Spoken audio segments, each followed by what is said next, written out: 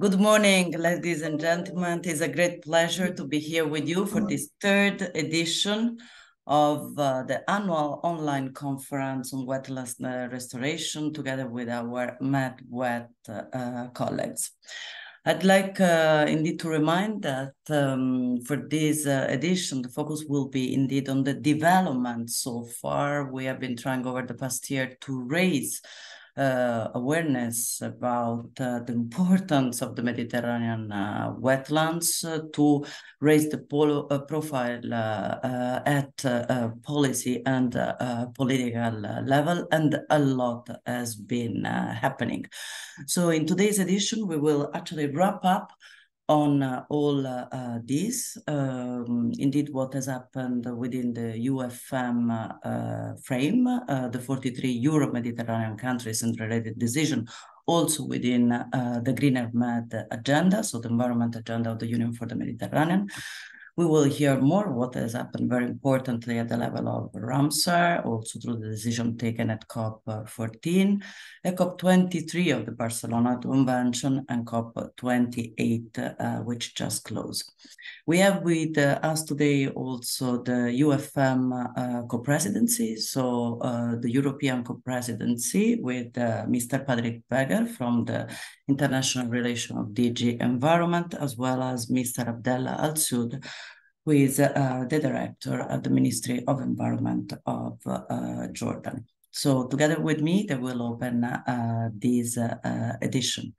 We um, have been over the past years also been um, preparing some uh, material um, for uh, policy making, trying to, uh, let's say, sum in um, dedicated targeted documents the main information for uh, the best use of uh, the valuable um, knowledge uh, uh, collected and experience collected around uh, wetlands, and in particular in the Mediterranean.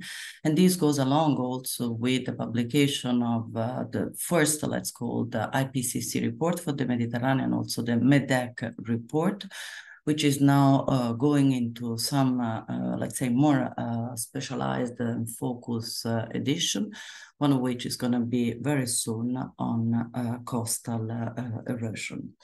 I'd like to make also a bit of housekeeping without taking uh, any further time. Namely, I kindly ask to all the speakers to stay by the time set in the agenda. You know, this is an online conference. Uh, we have interpretation and we need to stay within, let's say, the timing uh, frame. There will be also a room for questions and answers. And uh, for doing so, please uh, use uh, the chat. Our colleagues are here to uh, answer to any of the question uh, raised. So without any further ado, let me pass the floor to my colleague Patrick uh, Egert from uh, DG Environment. Patrick, the floor is yours.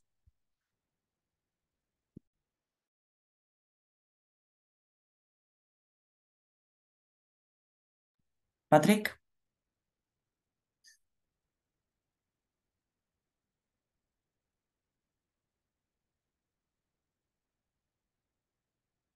Maybe Patrick is still not connected, and if and yes, he's no, here. He's here. He's here, right? So,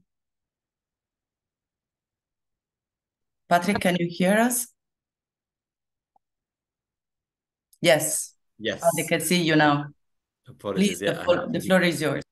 Thank you. Thank you, Alessandra. Good morning. Um, thank you for uh, inviting me to this um, this important meeting uh, on, on wetlands. Um, for those of you who don't know me, my name is Patrick Weigert. Uh, I work at DG Environment uh, of the European Commission, and we are, um, along with Jordan, and co-hosts of uh, the UFM, and work very closely with uh, Alessandra and her colleagues on um, on all issues related to environment um, in the UFM region. Um, so both environment and water. This morning I'll be very brief because I, I, I want to allow the the, the event to, to take place and apologies for the for the delay in joining you.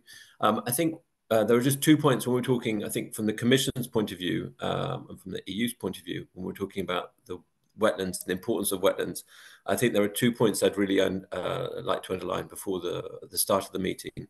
Um, firstly, is obviously the commitments that um, the EU, the member states, the UFM member states gave um, last year, almost a, a, year ago at Montreal um, for the Global Biodiversity Framework uh, under the um, Convention on Biological Diversity, the UN Convention. Um, so these were what are supposed to be a, a, ambitious but achievable targets uh, on protecting and restoring biodiversity, and uh, wetlands play a very key role in that uh, in that area. So I think this will be a this will be a very big challenge for us in the coming years, well, currently and also moving forward, both to protect the, the wetland areas and also to restore them. Um, at EU level, you may be aware we have legislation uh, that's in its final stages, what has recently recently been adopted for um, the restoration of wetland areas, um, well, restoration of biodiversity, including them wetland areas. And there's this target of having 30% of uh, of both land and sea areas under some type of protection. Um, so I think both protection and restoration will be key and uh, are clearly um, very significant when we're looking at the role of wetlands in protecting and restoring biodiversity. And the second point uh, I'd just like to highlight, um, particularly as we've just had, um, again, at international level, we've had the UNFCCC COP28 meeting uh, in Dubai, which was uh, finalized uh, earlier on this week. Um, and that's really obviously the role of wetlands that wetlands play in um, adapting to and adapting and mitigating um, climate change uh, in the region. The region, as we know, is is one of the most uh, highly affected by changes in climate. It's, it's seen significant changes in, in, in temperature. Um, uh, and there, I think I would emphasize the, the, the importance that wetlands play in, in, in um, as I said, in, in both adapting and mitigating to climate change. And um, this is linked clearly um, with the, the need to protect them. As we say, um, biodiversity uh, and climate change are two sides of the same coin. And I think when we're looking at the context of wetlands, that the, that's made very, very clear. Um, so I think that's uh, from my side, just to give a brief overview where we are from the EU, and I think um, how we view the importance of wetlands, particularly in the Mediterranean region. Um, and from that side, then I pass the floor back to Alessandra. Thank you. Many thanks, Patrick, for indeed uh, connecting the dots with the Global Biodiversity Framework, with a very important nature restoration law that we all hope is going to be, let's say, um, finalized and completed very soon. And uh, uh, indeed, uh, with the um, situation in the Mediterranean, we know that it's one of the regions that is uh, warming fast, uh, say, at world level. I mean, 20% uh, faster than the global average. And of course, this is a very scary and alarming, um, you know, data that we have all to keep in mind in acting promptly and effectively also through um, this work on wetlands. So let me now pass the floor to our uh, colleague, Abdallah Al Saud, the director of, uh, at the Ministry of Environment of Jordan. Abdallah, the floor is yours. Yes, you hearing me? Yeah, we can hear you very well. Thank you. Uh, good morning. Uh, it is an honor to be taking part of this third online uh, conference on the uh, restoration of the Mediterranean wetland, wetland-based solution. I had the pleasure to welcome the first conference on wetland restoration as a natural-based solution in the Mediterranean uh, on behalf of the Jordan co-presidency in 2021. Uh, it is truly uh, remarkable the momentum that natural-based solution as whole and the wetland is particular have again ever since. Uh, back in the day, the conference focused on the most efficient tools to restore wetlands and relevant restoration projects. Now we are able to provide you with an overview of many advancements done for a global perspective to the crucial local dimension with example uh, also in the South Mediterranean. During the COP28 in Dubai, we have seen the, that the, the need to protect and restore the key ecosystem, such as wetlands, even more urgent. They are center to mitigation and adaptation to climate change, and they must be higher up the agenda than ever before. Therefore, now it is time to act and implement solution based on wetland to tackle the pricing, environment, and climate challenges. This is a great opportunity for the Mediterranean region to continue join forces toward a sustainable and inclusive economy preserving in our invaluable ecosystem.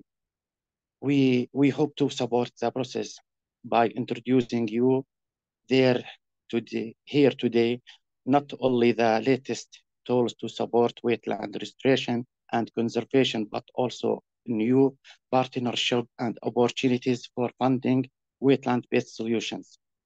The successful stories that will be present, presented today confirm that putting the focus on local skill can help achievement a great benefit for wetlands in the Mediterranean.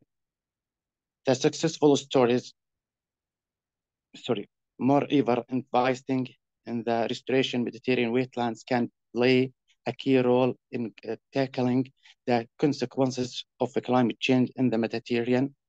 Uh, and final, I would like to uh, mention that the process initiated today also aligns with the first, the joint flagship UFM 2030 Green, Green Mid Agenda, the UFM Ministerial Declaration on Environment and Climate Change, achievement of the environmental SDGs in the Mediterranean, the Ramsar Convention and their COP14 resolutions, the COP15 on biodiversity, and the most recent COP28, as the as the colleagues will explain. And final, I want to thank you very much for joining today, and I wish you truly fruitful, successful meeting. Thank you. Many thanks, Abdallah. Many thanks for accommodating actually your participation today. I know you're running from one meeting to another, uh, so it wasn't the best day for you, but thank you very much for uh, being uh, with us. And indeed, I mean, uh, supporting and giving also the vision from uh, the, the South. I'd like also to recall and maybe also to pick on some of your words. Indeed, uh, you mentioned solution, you mentioned uh, environmental services, tools, and these are all topics that we are going to go more in depth during the course of this uh, event. So without any further ado, let me give uh, the floor um, for an overview, let's say, from the global to the local uh, context to the Ramsar uh, Secretariat, to Ms. Uh, Flore Lafaye de Micheaux. I hope uh, actually I pronounce it well. And to Marianne Courouble from MedWet, that of course we know from all the very previous edition. Thank you very much. So the floor is yours. Thank you very much, Alessandra. I hope you all hear me well. So I'm very pleased to be here for, with you today. Thank you for UFM and MedWet for inviting us. I mean, for us, it's really uh, great to see the tremendous efforts from uh, MedWet and also from UFM towards uh, the wetlands uh, in the region. It's, um, you know, as the negotiations were just uh, out from the COP28, um, it was a great pleasure to see again this water-related ecosystem being highlighted in the discussions. And I will come back to this later.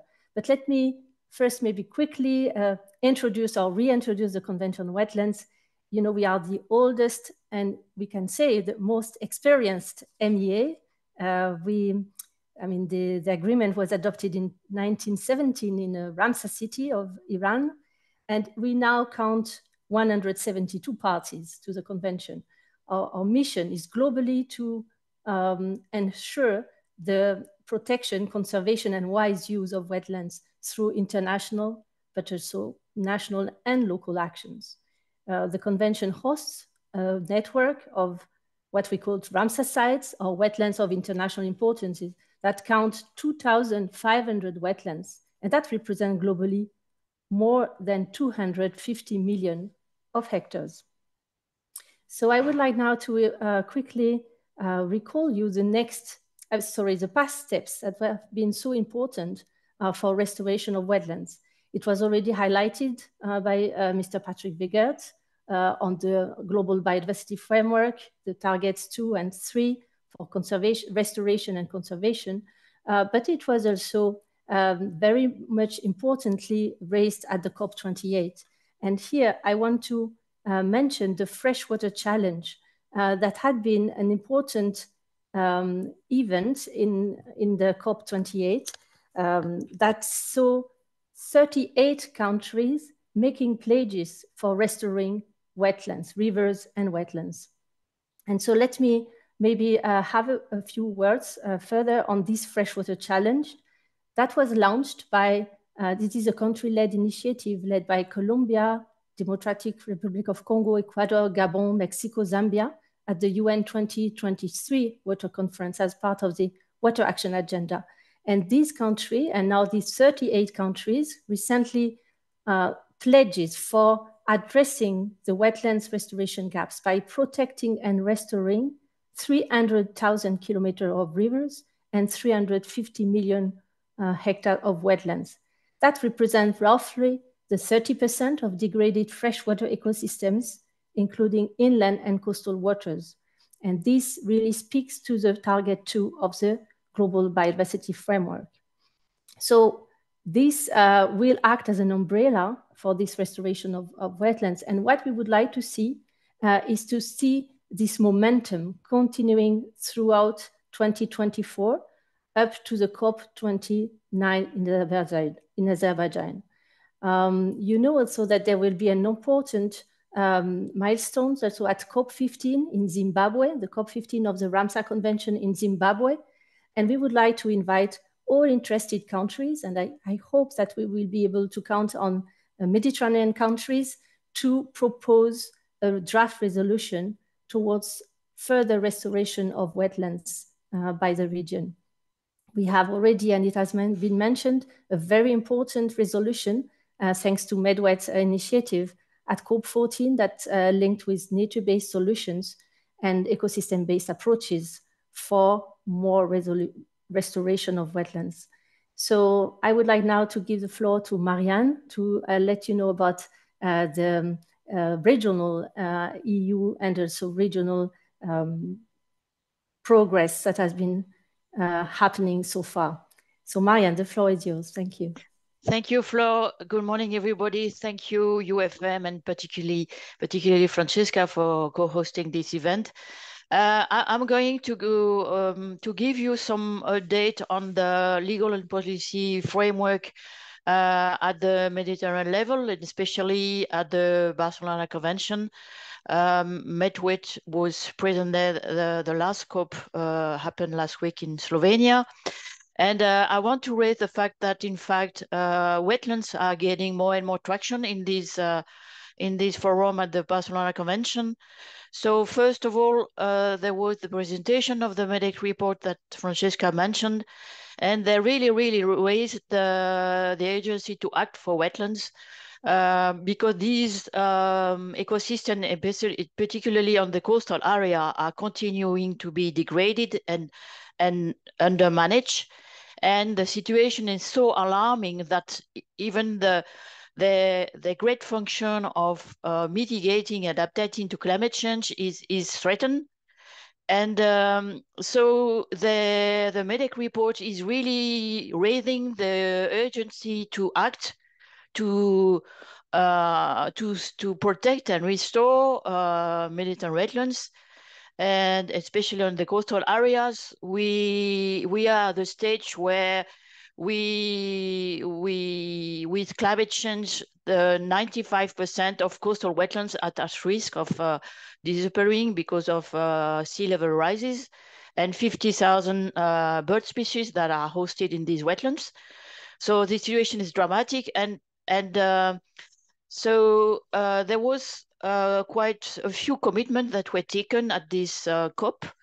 Uh, first of all, the, there was a ministerial declaration where the parties to the convention uh, committed to um, to protect coastal and marine ecosystem uh, to stick to the GBF. So 30% of, of this area will be uh, under protection by 2030. And they also committed to um, uh, to halt the degradation, the degradation of this uh, fragile ecosystem. they also committed to um, uh, to effectively effectively um, put in practice uh, the the two main um, uh, policy framework of this convention, which is the the new biodiversity framework on biodiversity, which is uh, precisely referring to wetland restoration, and also the integrated coastal zone management protocol, which is also a, a vital uh, legal instrument. So, but beyond these uh, commitments, uh, what is really at stake is, is the, the survival and the resilience of the, the coastal uh, communities, because a third of the Mediterranean uh, population live on the coast, coastal areas. The, also the economies are at threat and, and, and, and of course the biodiversity. So it's really, really a question of uh, uh, urgency. And Flore mentioned the very important issue of water water is, is also wetlands and it is a big issue in the Mediterranean area. Uh, so coming back now to, to the EU, uh, Patrick also mentioned, of course, the, the last development regarding the, uh, the EU restoration law. Maybe I'm going to give you a bit more uh, further elements on that. So, uh, so the EU restoration law is a new binding instrument uh, at the EU level, but there's already a lot of of uh, uh, legal framework at the EU level uh, addressing that the, all the directive, habitat, the bird directive, directive, um, the EU strategy on biodiversity, the flood directive, and so on. There's, uh, but so this restoration law is is was uh, to provide a specific um, legal text for the restoration of at least originally uh, to restore 20% of EU land, coastal, marine, and freshwater habitat, including floodplains and, and peatlands by 2030. So what happened, there was this negotiation process started quite a while ago. And uh, this summer, there was a big debate at the European Parliament with a bit of uh, uh, watering down of the objectives and target of this uh, of this law. Uh, but what what happened also, there was a quite of the requirements to prevent the deterioration of ecosystem was also a bit watered down. But what, what we can retain, which is quite positive, is there still some very high restoration targets for farmlands, drain peatlands, and also for free-flowing rivers. So this is quite, uh, we, we have to, to be positive. So what is the next step for this uh, restoration rule? So there's going to be a discussion and adoption in March 2024 by the European Parliament and then the Council. So we hope it's going to give uh, a, a, new uh, focus on, on the importance of, of wetlands for the for the resilience of, of, of uh, biodiversity and people in, in Europe and especially in the Mediterranean region. Thank you.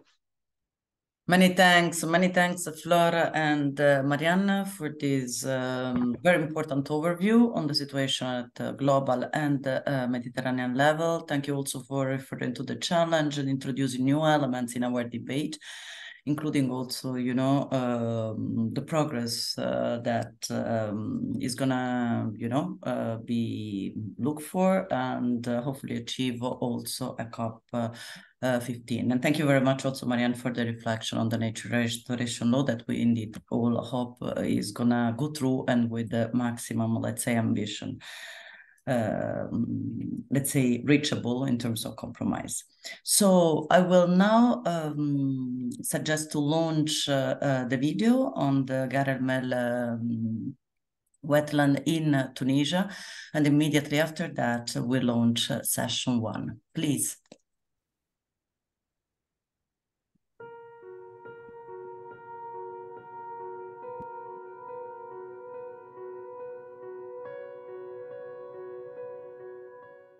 c'est notre vie. C'est, euh, on inspire euh, de là, de la terre, de la lagune, du lac et tout. Hein. Il ne faut pas le modifier. بالنسبة يوسف تخيرني أنت على غار الملح ما تنجمش تخيرني بها بحتى بلاصة أنا ما نخرجش من غار الملح معناتها كان للطوارئ على الآخر La lagune de Rarmelh, elle, en fait, elle joue un rôle très important pour les oiseaux migrateurs. C'est un site d'hivernage des oiseaux où les oiseaux se reposent, se, se, nourrit et passe l'hiver ici. quand j'étais petite, c'était un paysage unique. Il y avait la mer, il y avait la montagne, il y avait euh, des communautés locales et c'était vraiment magique.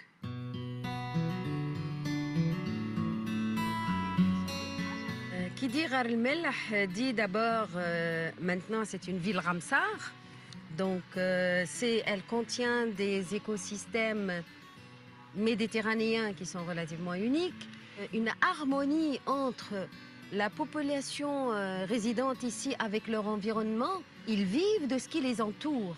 Avec la sécheresse, avec tout, qu'on le voit à l'échelle mondiale, c'est pas euh, qu'exceptionnel pour la Tunisie ou bien pour euh, notre région de Gataï. Surtout ces petits parcelles-là, parce qu'ils vivent à 100% du pluviométrie et du marée de mer. Si ces deux facteurs-là sont réduits, ils sont maintenant déjà réduits, ils sont, vont être plus réduit. Donc pourquoi on va chercher à investir sur l'irrigation, puisqu'on a une irrigation naturelle. Mais il faut la protéger. C'est ça le grand problème. Il faut protéger ces euh, champs, ces, cette euh, genre d'irrigation.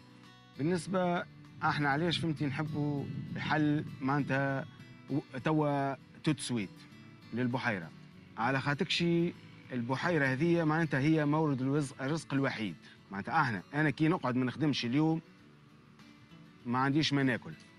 Protéger ou savoir quoi restaurer en termes de priorité, il faut connaître. Et pour connaître, il faut évaluer. Il faut évaluer les valeurs euh, écosystémiques ou les valeurs économiques qui sont fournies par les différents services de la lagune et de ses environnements à la communauté et à l'économie nationale. Il s'avère que ces services sont très menacés par plusieurs pressions et euh, si on n'arrive pas à gérer au mieux ces services, euh, ces services vont euh, disparaître dans 10 ans. Donc nous, notre rôle en tant que Fonds mondial pour la nature, Bureau de l'Afrique du Nord, WWF, est de rassembler toutes les parties prenantes qui interviennent dans la gestion de la zone côtière et de la ville de Ralmelh et de ses ressources naturelles autour de la même table pour essayer de comprendre les problématiques et d'identifier ensemble quelles solutions potentielles on peut euh, concrétiser dans le cadre de ce projet. Et euh, il est de notre devoir d'assister, d'appuyer les gens de Ralmelh pour trouver des solutions. بالنسبة لغار ملح عندنا مشاكل موجودة فيها اللي متعلق بالتغيرات المناخية اللي هي معناتها تآكل الشريط الشريط الساحلي. هذه مسألة مهمة برشا. معناتها إحنا نعطيها أولوية الأولوية الأولى الأولوية الثانية. فما الحاجة الثانية اللي هي تجي بعد هي التلوث. التلوث هذا معناتها فيه فيه معناتها عنده عدة مصادر. عند مصدر المصدر الأولاني هي محطة التطهير نتاع تيك وكذلك المنطقة الصناعية نتاع تيك هذا وعن وعندنا تلوث آخر اللي هو محلي اللي جاي من من المستغلين نتاع الشط. وهذا اللي إحنا توا قاعدين نبحثوا باش نعملوا لهم خزانات مع عاجلة دي فوسيتونش معناتها في المناطق هذه. Le rendement de pêche a beaucoup baissé. Donc il faudra étudier une meilleure alimentation de la lagune et qui permet cet équilibre d'entrée d'eau de la mer vers la lagune et inversement, bien sûr. On devrait absolument interdire les rejets des eaux usées. Des éléments scientifiques que nous connaissons maintenant, comme l'élévation accélérée du niveau de la mer, et ce que cela implique sur l'écosystème, sur les habitants, etc. Donc il faut absolument se préparer. Il faut que nos gouvernements reconnaissent cela, l'intègrent dans les politiques de planification et font en sorte euh, qu'on mette en place les activités ou les mesures ou les infrastructures nécessaires pour protéger aussi bien les écosystèmes que les populations qui seraient d'ici 2100 encore plus vulnérables au changement climatique.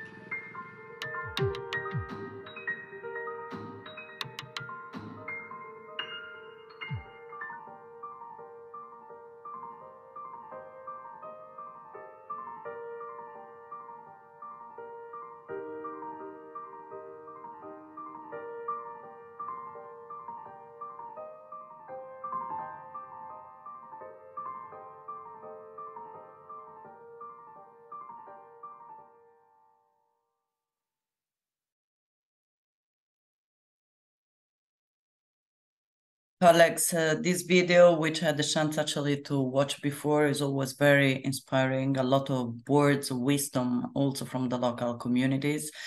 A lot of alarming uh, mm, data as shown in the last uh, images, so definitely elements of reflection for us. Let me now move uh, to session uh, one. So I'm pleased actually to give the floor to Ms. Sana uh, Mezzugi from uh, MedWet. and uh, Sana, the floor is yours. Uh, yours. Sorry, you will focus on the uh, networks of uh, Ramsar site managers, indeed on the aim, on the history, and how you know the network is indeed active uh, and very much needed for this endeavor. So please, the floor is yours. Thank you, Alessandra. Thank you. Good morning, everyone. I'm Sanem Nusuri. I'm part of the MedWet team. I'm uh, the facilitator of the MedWet Managers Network. Today, I will give a very brief presentation about uh, the network and then give the floor of, of two of its members, uh, Nuha and Hazem, uh, to share uh, about their work on the floor, on the ground. Sorry.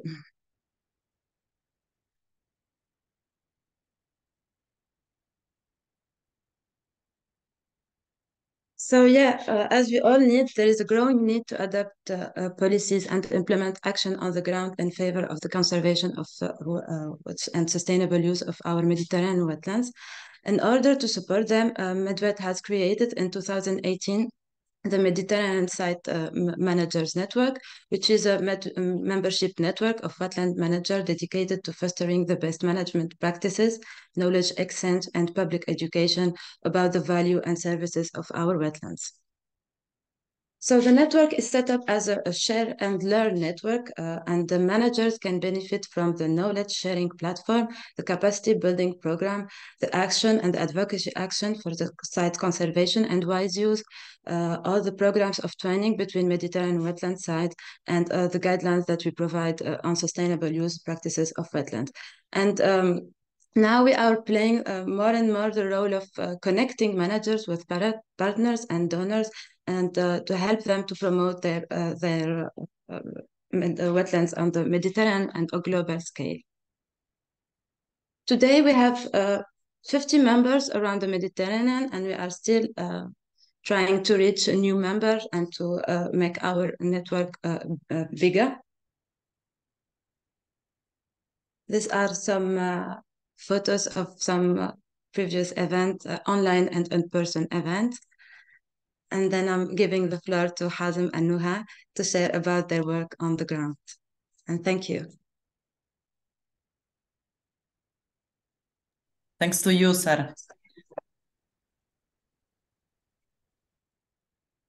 So please, colleagues, you take the floor.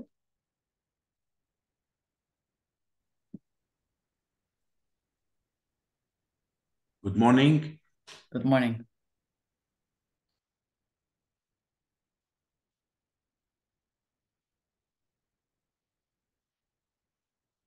Okay, good morning, and thank you for inviting us for uh, uh, this important event.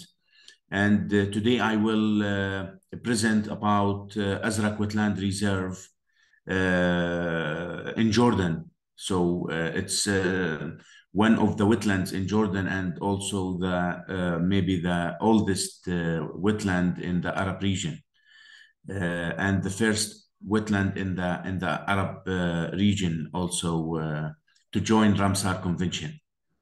So uh, today uh, we will talk about uh, Azraq Wetland Reserve as uh, Uh, as I told you the only uh, Ramsar site uh, in in Jordan and also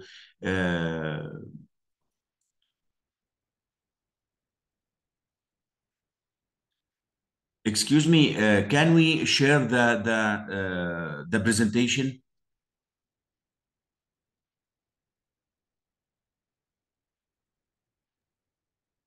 Let me call the technicians. One moment. Albert, sorry, can you please uh, share the presentation from your end?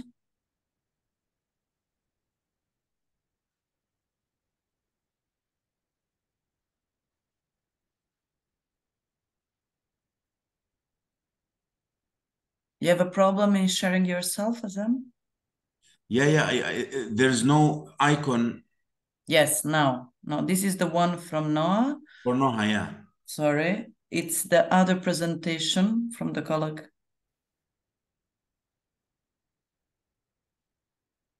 Alberto, I don't know if you can hear me. It's the other presentation from Jordan. Or a proposal could also be that we go ahead with the one of Noah. In the meanwhile, we get uh, in contact with the technicians for the for yours, Azam. What do you think? Oh, don't mind. Yeah. Yeah. So, yeah. no. so let, let me see. Sorry. Colleagues?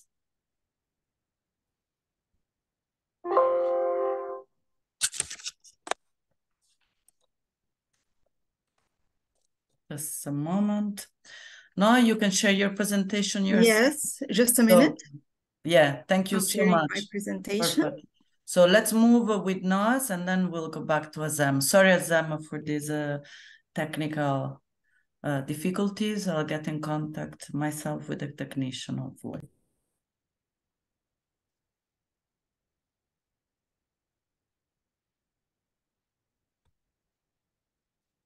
Uh, good morning. I'm Dr. Noha. I'm working in Ministry of Environment and, and I'm the national focal point of MedWet.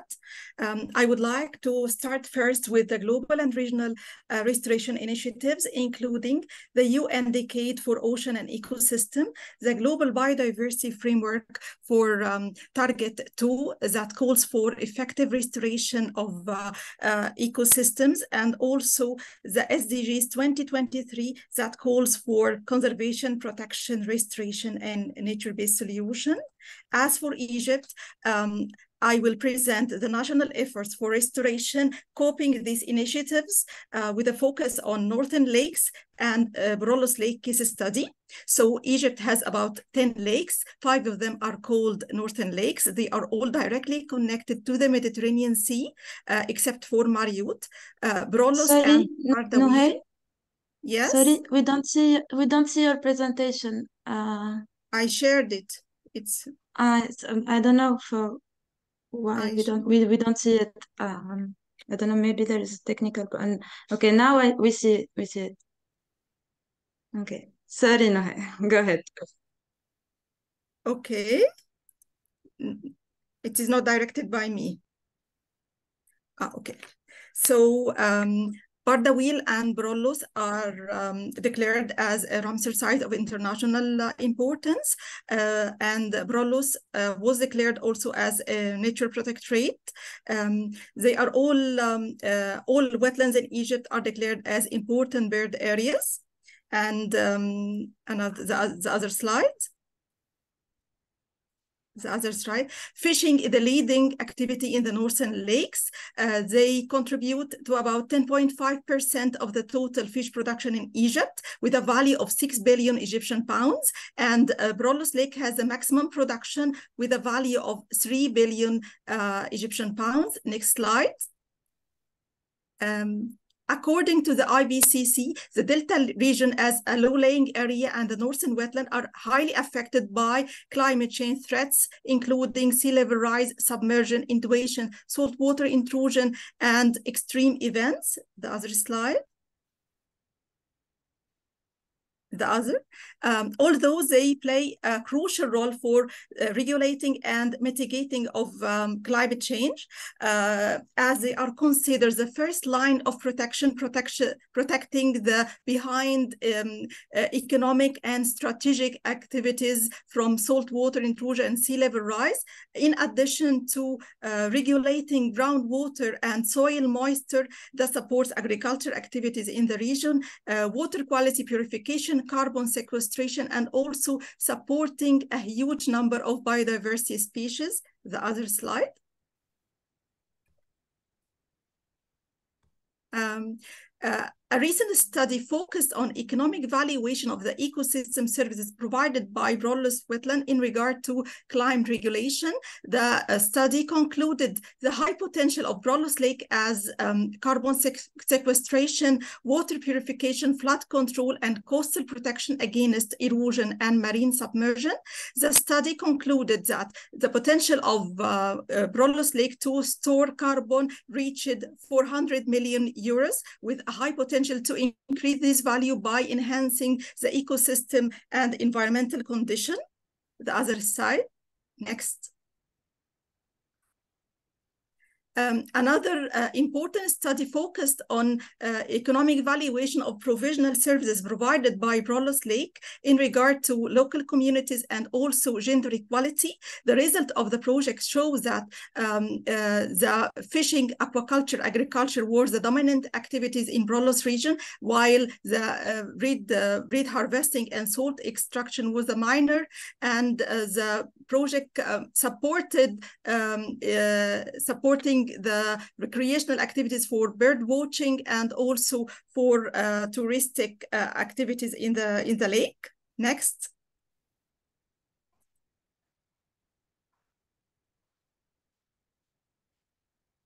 For management, um, the environmental law gives the authority to Ministry of Envi Environment to regular monitoring of water quality. We have a program started in 2009, management of natural protectorate, developing of national action strategies and programs for restoration and following up regional and international conventions. Another important um, uh, law for protection of lakes and development of fish resources that focused on lake protection, pollution reduction, and also management of economic activities in and around the wetlands. Uh, next, please.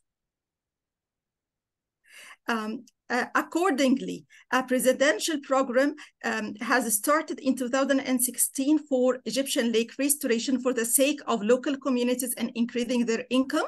Um, uh, one of them is project uh, is a project for Brollos Lake uh, with a target to enhancing the water circulation inside the lake and the water exchange between the lake and the Mediterranean Sea. The results of the project showed improvement in water quality and also increase in fish production and restoring some fish species with a high economic value. Next, please um, a nature-based solution project called Enhancing Climate Change Adaptation in the North Coast of Egypt and Nile Delta region in Egypt, uh, focused, um, uh, funded by Green Climate uh, Fund with the aim of uh, reducing threats of sea level rise in, by implementing 69 kilometer of salt um, uh, soft structure, uh, protection structure using artificial sand dikes uh, in five vulnerable hotspots in uh, the Nile Delta and also developing integrated coastal zone management for the northern coast of Egypt, enhancing warning system for sea level rise, uh, capacity building of stakeholders, and raising awareness of local communities of threats of climate change and alternatives um, the project idea come from the local communities living um, around Brollos Lake that used harvested reeds uh, inside the lake to build artificial sand dune to protect their uh, economic uh, activities behind the lake, especially agricultural activities from sea level rise and um, saltwater intrusion. Uh, next. Finally, I will end here by it's time for wetland restoration and thank you. Many thanks, Anar, for showing these very interesting cases. I mean, it gives us really the ground dimension of uh, how things have to be carried out. And uh, in the meanwhile, we have been uh, able actually to um, fix, I hope, uh, the uh, presentation of Azem. So please, Azem, the floor is yours. Thank you very much, Noah, again. Thank you. Azem, the floor is yours. Thank you so much. So I, I am just uh, waiting for the uh, to share the yeah. Okay. Next please. Okay so Azraq Wetland Reserve uh, is one of the Jordanian protected uh, areas uh, and also it's the uh, stopover for migratory birds from Europe to Africa and vice versa.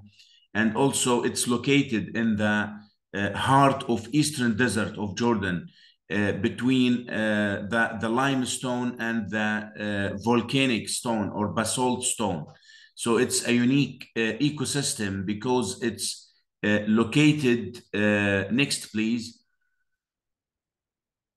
Yeah, it's located in the heart, in the biggest drainage rechargeable aquifer in, in, in Jordan. It's a transboundary aquifer from uh, uh, Syria to Saudi Arabia. So the vast majority of the aquifer uh, locates in the Jordanian territory and the wetland uh, emerged because of the natural springs uh, in the in the aquifer. So uh, and 1% in Saudi Arabia and 5% in Syria. And it's, by the way, the most recharge can happen in the Syrian uh, territory because in, in Azraq uh, area, it's uh, a desert ecosystem. So the, the rainfall uh, average is uh, between 50 to 90 uh, millimeter per year. So the, the recharge of the aquifer can, can, can happen in the Syrian territory. next, please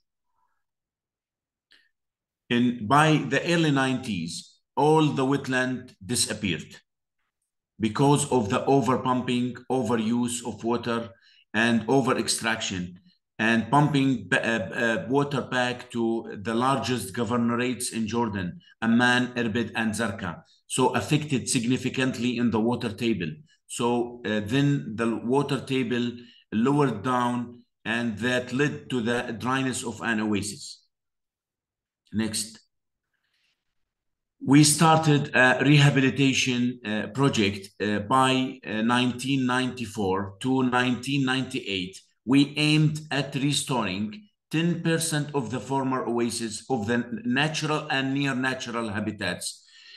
Uh, also, uh, we aimed at uh, um, halting further degradation of the aquatic ecosystems in the oasis and also uh, protecting the only uh, invertebrate species of fish, which is called Aphanius sarhani.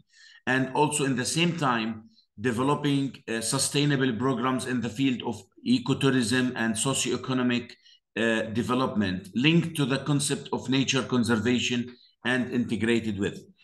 And also we aimed uh, through the restoration project to establish a sustainable basis for the utilization of water resources of the Azraq Basin.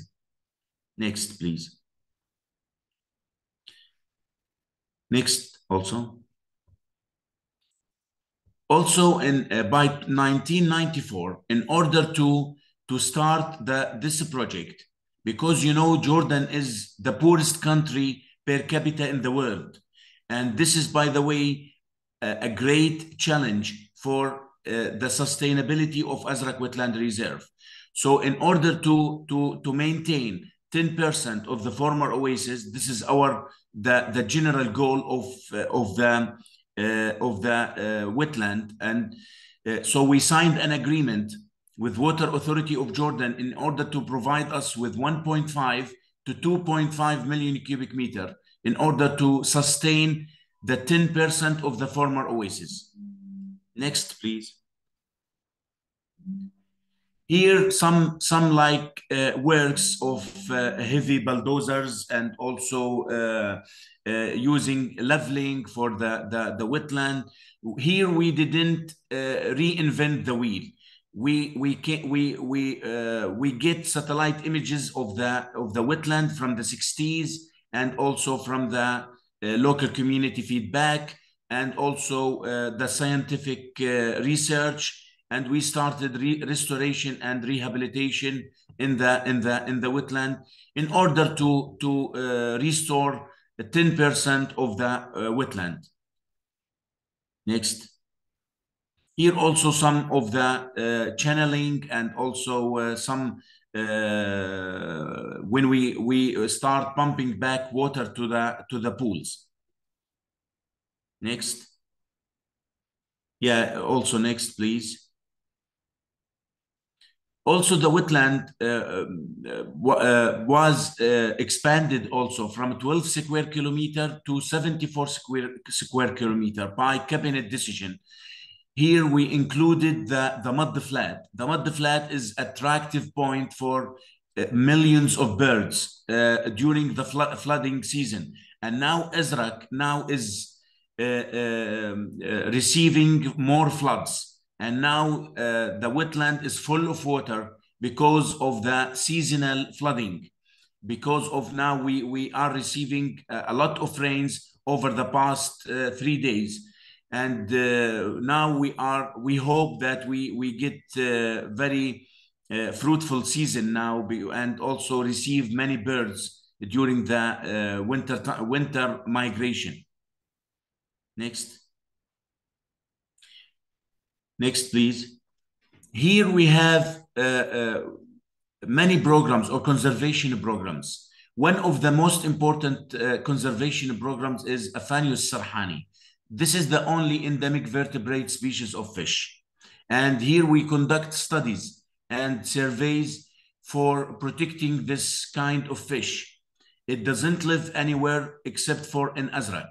This is endemic to, to the area and also uh, uh, this is first uh, classified or by three Austrian researchers, Villwock, Scholl, and Krupp.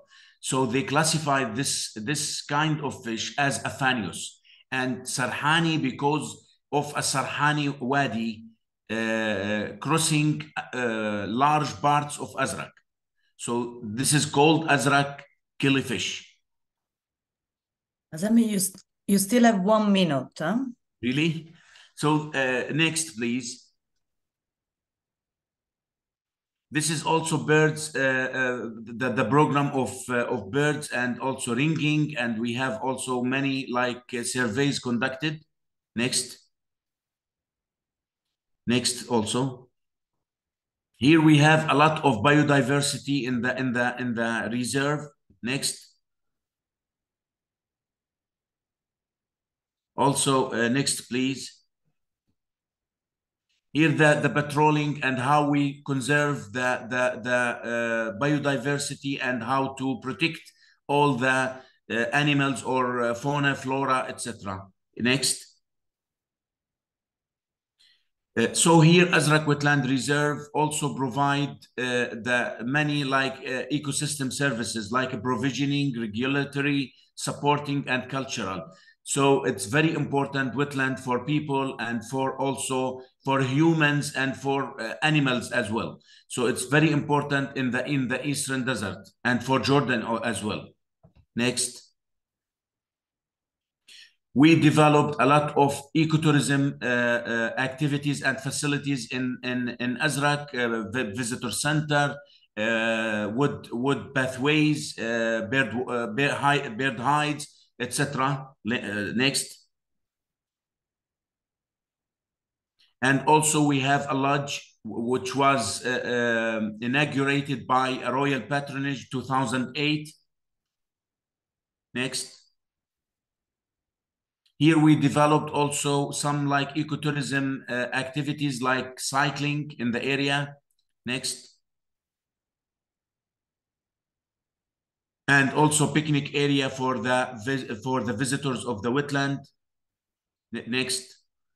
Here we have some in, experiential tourism in the in the area because in Azraq we have three social groups: Druze, Chechen, and Bedouin. So we have to to integrate them and involve them in our uh, day-to-day activities and create like income for people around the wetland. So this is one of the of the uh, people or uh, social groups in Azraq Druze uh, people and some activities with them. Next. Here also the Bedouin the Bedouin experience in Azraq. Next and here also the the Chechen experience from uh, in Azraq. Next. Here also we have a lot of like uh, in, uh, eco uh, environmental education programs. So we, we created many activities like a nature night program and also targeting school students, universities or farmers and raise awareness in the, in the, uh, in the area and celebrate the World Wetland Day also. Next. Azam, I have unfortunately to ask you to close in order to allow also to the other speakers. This is, we, we are about to finish. Thank you. Next. Here also the outreach program in the reserve. Next. Here the some uh, like the, the direct benefits for the local community over the past five years. Next. Here also the socio-economic projects and how women, Azraq uh, women uh, participate in many handicrafts in the area. Next. Next, please. Here the, the international recognition and awards that the wetland received. So since Ramsar Convention till the Peace Park, uh, also uh, in the in the in the, in the wetland currently. Next. Thank you for listening and also for your time. Uh, really, thanks to you for this uh, beautiful uh, presentation, you, Noah, and Sana. Thank you very much for this session that, of course, bring us to the local dimension. And indeed, thank you very much for highlighting not just, you know, the environmental benefits, but indeed also the very important socioeconomic ones. So with this, we close this uh, session and we move to the next one. Colleagues, sorry for waiting.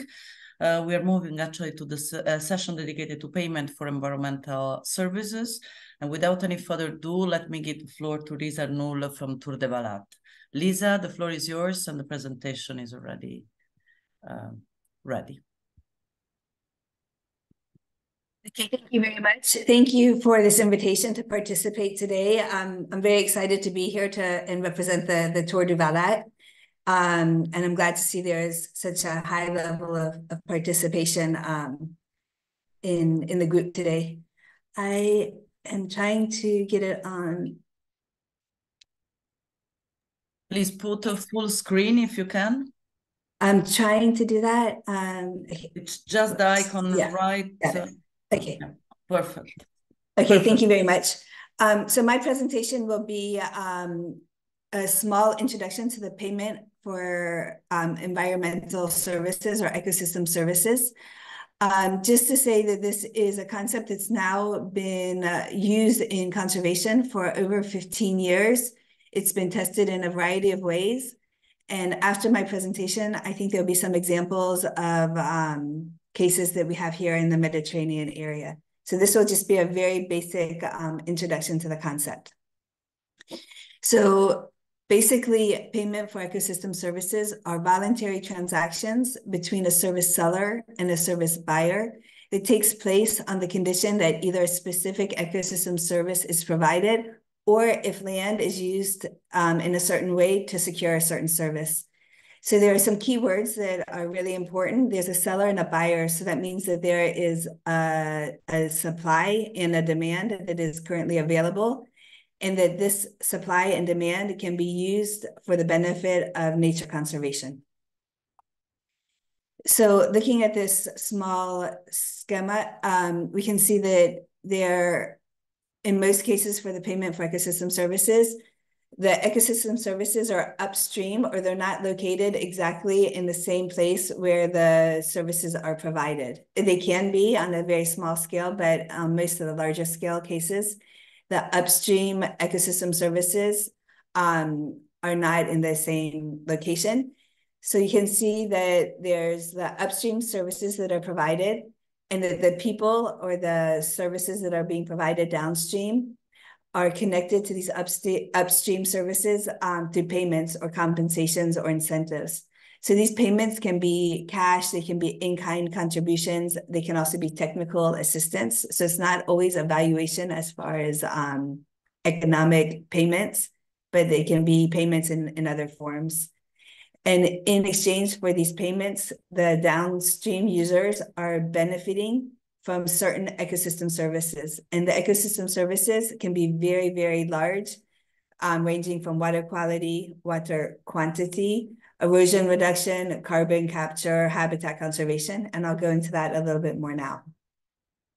But before I do, um, basically it's important to say that payment for ecosystem services are developed either in one of two ways. Either first, there's a set of stakeholders that recognize that there's a depletion in the resources and there's a real demand for these resources. So it's a demand um, type of incentive to, to initiate these ecosystem services um, payments. Or it can be the other way around where there's a supply. So there's a particular aim that's identified. Usually it can be in relation to uh, the protection or the management of natural resources. And the supply can try and find a market to help pay for the, um, the different um, techniques or the different management that's necessary to provide these services. Um, some of the typical ecosystem services that are used for the payments, and I think we're hearing about it a lot, especially in the last five years, and now with the, the COP that just finished, is related to carbon sequestration or storage. Um, in the, the, carbon sequestration and storage, there is a huge um, market now that's being developed internationally and nationally at different levels to, to help uh, provide um, financial incentives and payments for especially not only for wetlands, but in our case for wetlands, um, to to to hold in the the the um, the carbon and to provide a, a real buffer for climate change. There's also um, biodiversity protection and bundled services which in the past have proven to be quite, quite highly efficient um, as far as payment for ecosystem services. Um, but one of the, the things that we've seen is sometimes it's difficult to organize the payment around the biodiversity protection and also to maintain these um, payments over the long term. Another typical uh, payment for ecosystem services is watershed protection. And this often happens when there's at least one, but there could be several stakeholders that organize themselves together to protect the, the water resources in a specific area. Um, usually the payment for ecosystem services are done directly from the um, demanders to the suppliers. But in watershed protection in the past, this has often been done through non-governmental organizations who channel these um, payments to specific farmers or users. And the last one that I'll mention today is there can be also payment for ecosystem services to take into account landscape beauty. So it's a non, um, it's a aesthetic beauty or there's, it's a non-physical attribute um, linked to, to nature conservation. There are seven key principles often highlighted in um, payment for ecosystem services. First and most important are that the payments are voluntary, so they cannot be forced, and um, both the demand and the supply has to be voluntary. Um, the second principle is that the beneficiary pays. So um, the people or the stakeholders or the the organizations that are receiving the, the benefits of these services are the ones that are supposed to contribute financially or technically to the to the payment. The payments should be direct payments so that the people who are providing the service receive the payment indirect.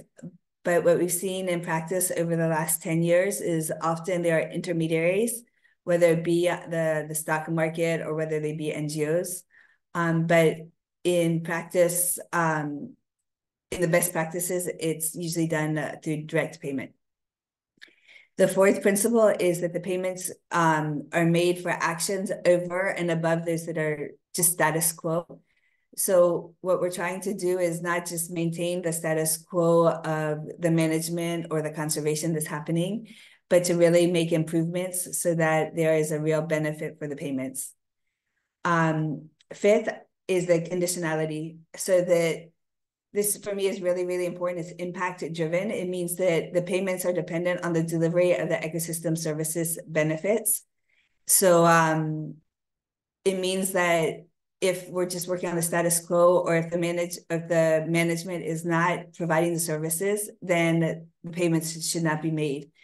Um, again, this is not always how it's done in practice. Usually in practice, um, the implementation of the payment or the payment is based on the implementation of the management practices, which should lead to the ecosystem services, but may not always be the case. The, the sixth principle that's important to mention is ensuring the permanence. Um, so that means that the, the payments should be considered for the benefits that we're going to have over time. So they're not just a one-time payment for something that's going to happen now this month or this year, but it's something that we should ensure over time um, to have the benefits for the future. And the seventh um, principle that's very important to mention is to avoid leakages. This means that ensure that the benefits that we're providing or the ecosystem services that we're providing from this payment are not in detriment for ecosystem services that were previously provided in another area. Um, there are two other components for success that I'd like to mention. Um, first, that there really needs to be an appropriate transaction infrastructure in place. So it can be a marketplace. Um, and this sometimes is, it takes a while to really put into place before we can have the effective payments between the providers and the sellers. Um, and this is something that really needs to be done by economists or people who have experience in the marketplace and not necessarily by the conservation managers to ensure the success over time. The second component that, especially coming from the Tour du Valat, that I'd like to, to emphasize is there really needs to be a robust scientific baseline. Um, again, like I said, the payments for ecosystem services should ensure that there's an impact and that there is an added value to, to doing these management changes. Um, and in order to, to, to measure that, we really need to have a baseline um, information about the site and what that site is contributing to the ecosystem services. There are several enabling factors that are also important to mention. First is the valuation. Um, so it means that we need to quantify the impact of the service that we're providing. And this is often leads to economic or monetary value. Um, there's been a lot of criticism about monetary monetizing um, ecosystem services, but for the payments, it's very it's a very important step. Um, and the second enabling factor is that there needs to be legal and institutional frameworks in place in place this means that um, it can be at a European level, but also at a country level or a regional level. There needs to be the institutions that can ensure that the payments are done in a um, legal framework that is beneficial to both the provider and the seller. And the third um, enabling factor that's also very important is the organization of stakeholders. The stakeholders are the key behind the payment for ecosystem services. Um, and when we're talking about stakeholders, it can be the larger society, it can be the specific farmers, it can be uh, the municipality. And um, organizing the stakeholders before engaging in the payment for ecosystem services is extremely important to avoid conflicts in the future. there are several. One Lisa, more minute. One more minute. Okay, this is the, the last slide. So um, this is just a, a small schema that shows what how you can put in place the payment for ecosystem services. I will not go into detail as we're running out of time, but it's something that was developed and should be um, really looked into before engaging on any new type of ecosystem service payment. So just to conclude, um, payments for ecosystem services can encourage the maintenance of natural ecosystems through environmental friendly practices, and they can be very useful in conserving natural resources but we must be careful because they are not a blueprint for environmental conservation. They not they cannot be implemented and copied in every single case, and maybe they're not applicable in each case. Um, so it's a it's a useful instrument for nature conservation in specific cases, and it needs to be looked into um, before trying to implement them in in each case. Thank you very much, and I'm available for any questions afterwards. Many thanks, Lisa. Very interesting, and also very interesting uh, your final um, reflection on the fact that, of course, it's not a substitute, but uh, needs to be um, contextualized. So with this, we will move immediately to the presentation of Anis uh, Guelmani uh, from Tour du Valat. Uh, I just ask you to please uh, try to keep your presentation within uh, five minutes if possible. We are running very late and it's very important that everybody has the possibility to speak. Thank you very much, Anis. Um, five minutes, you said? I thought I had 10 minutes. Sorry. I know, but we need to accommodate. So please uh, try to keep your presentation, maybe not to 10, to 6, 7. Thank you. Okay. Uh, that will be, yeah, uh, uh, the, the, this is challenging. I'll try. Okay, so good morning. Um, yeah, following the presentation uh, provided by Lisa, um, please let me know if it's full screen. Yes, it is. It's perfect. Now we lost it. Can you put it back? Yeah. Now, yes. Okay, so I will give you uh, uh, an example of uh, the implementation of the, the, the concept uh, of payment for ecosystem services in the Sebou River Basin in Morocco. Um, so, yeah, so just maybe a few words, but I will keep it very, very quickly. The Sebou River Basin is one of the largest river basins in, in, in Morocco. It provides a, a third of the uh, surface water uh, and also the, the, the underground water uh, at the national scale, and it hosts 7 million inhabitants. Um, it, it, it also seven Ramsar sites, one Ramsar city, the city of Ifrane, uh, two national parks and 16, uh, 17 sites for biological and ecological interest. So uh, as you can see, it's it has also very high values for biodiversity and uh, and uh, and ecosystems in, in in the whole region, in the North African region and Maghreb countries. Um, and wetlands within the Sebou represent approximately 2% of the basin's area. So this is based on uh, recent satellite images processing for 2022. 2% it's uh, in the average of the Mediterranean, uh, the, the Mediterranean, it's in the, yeah, the, the, the same uh, or equal to the average of the Mediterranean countries.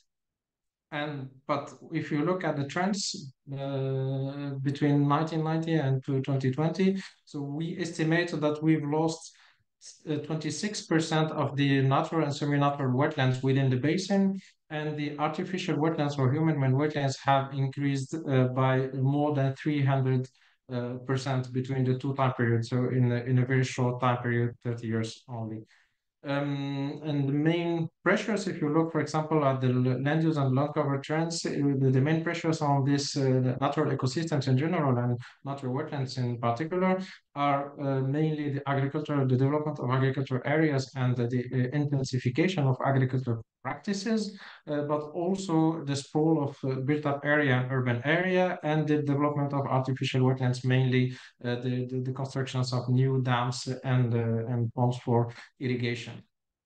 So this is what we call uh, water abstraction pressures, uh, uh, especially specifically on the, the, the, surface water, but also on the underground water. So you can see between these two maps in 1990 and 2020, the development of of this artificial uh, uh, water storage infra infrastructure, uh, both for large dams, very large dams, but also small ponds and and um, tanks for irrigation and agricultural uses.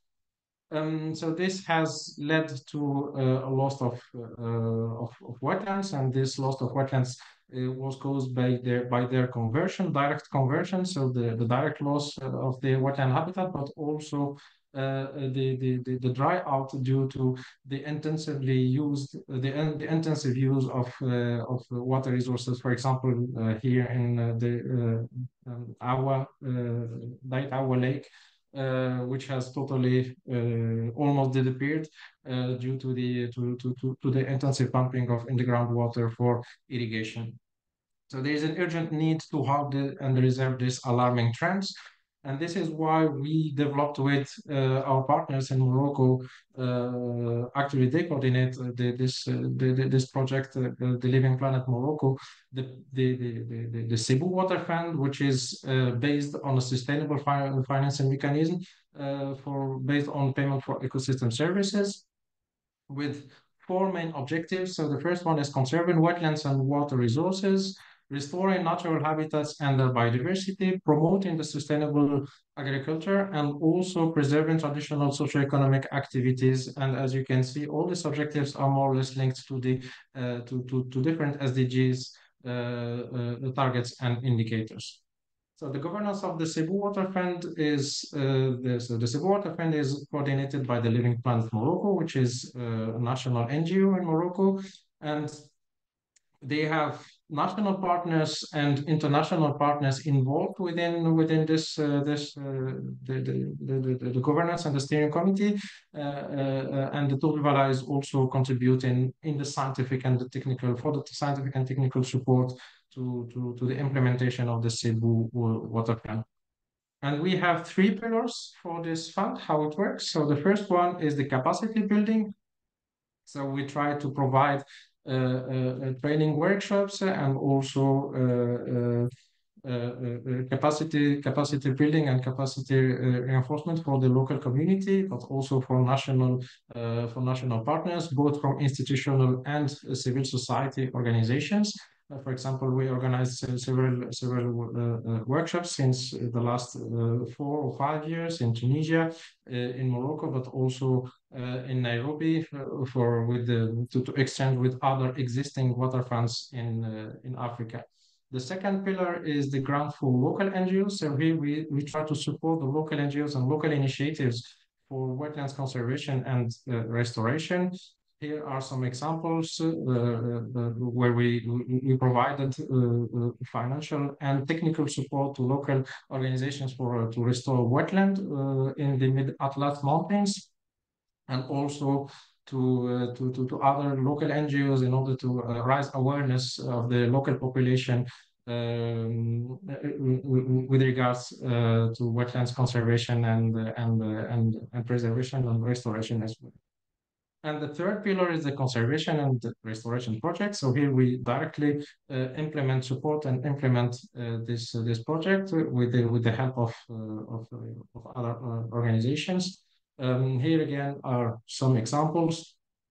For example, based on the work done within this Sebou Water Fund, the, the, the, the, the, Living Planet Morocco were was able to designate three new Ramsar sites within the, the, the river basin and also to uh, designate Ifrane as uh, the first Ramsar city in Morocco. And we have, uh, we are running actually uh, a big project, restoration project to revive the, uh, the Dayet Aoua Lake in the mid-Atlas, which has been totally uh, uh degraded and, uh, and dried out due to intensive ag agriculture. So both we are working on the physical restoration of the lake, but also on on on on changing the, the the practices, the agricultural practices in the in the subcatchment area because both are linked. Uh, uh, good governance uh, is also is also needed for for for, for to, to to have a successful restoration activity on the ground. So this is the story. So we started the the the, the story in 2007 uh, with the first studies uh, that have been conducted. So all this uh, was based on on knowledge, scientific knowledge, and and studies. And in 2017, the first fund for the conservation of uh, the Atlas Lake uh, was, was received. Um, we made the first feasibility study of the Sebou Water Fund in 2018. Uh, the official launch was, was in 2019. And then we had the, the, the, first agreement signed with the main public partners, uh, specifically the, the, the, the, Sebou River Basin Agency, but also other uh, partners from different ministries for of interior, of uh, tourism, agriculture, and environment. Uh, we get also additional funds in 2021 to uh, implement new projects, specifically restoration and Rising Awareness Project, engagement of the first partners from the private sector in 2022, and the upscaling from the mid-Atlas and the, upstream part of the basin to the entire Sebou Basin, including the downstream part, uh, started uh, this year with uh, with the new project also funded by the Fondation Prince Albert de Monaco and the story will be continued. Uh, con con continued, of course, uh, where, it's it's a new initiative started uh, just a few years ago, and all the actions and the activities are still ongoing uh, with the implementation of this concept of payment for ecosystem services uh, in uh, in in in the Sebou River Basin by involving by involving different stakeholders and partners from private and public sector. So thank you for your attention, and I hope I Many thanks, Anis. I really appreciated your efforts actually to condense all this very important information. Um, of course, the story is impressive, and as you said, it's really work uh, in uh, uh, progress still, despite it was started in 2007. Uh, I'd like also to remind to all the participants that of course all these presentations will be made available. So, um, and you can of course contact also bilaterally all the various uh, speakers for any further, you know, follow-up you might be wishing to do. So with this, we close uh, session two and we move to session three, which is indeed on tools to support wetland restoration. We have with us uh, Gizem uh, Dogan, I hope I pronounce it well, from the Mediterranean Conservation Society.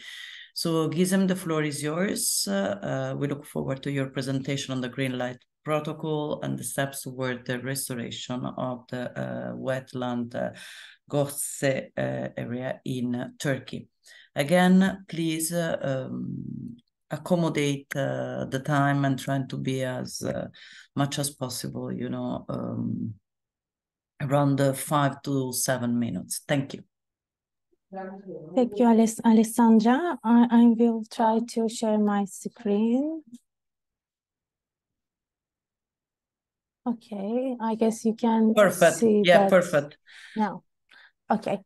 Uh, good morning, everyone, and thank you to all those presenters, presenters who share their valuable knowledge and experience with us. And thank you for all having me here. Um, I'm Gizem uh, from Mediterranean Conservation Society, or Akdeniz Koruma Derneği, as we say in Turkish. I am here today uh, to share our experience of Green Light Protocol in Gökçe Wetland in Turkey.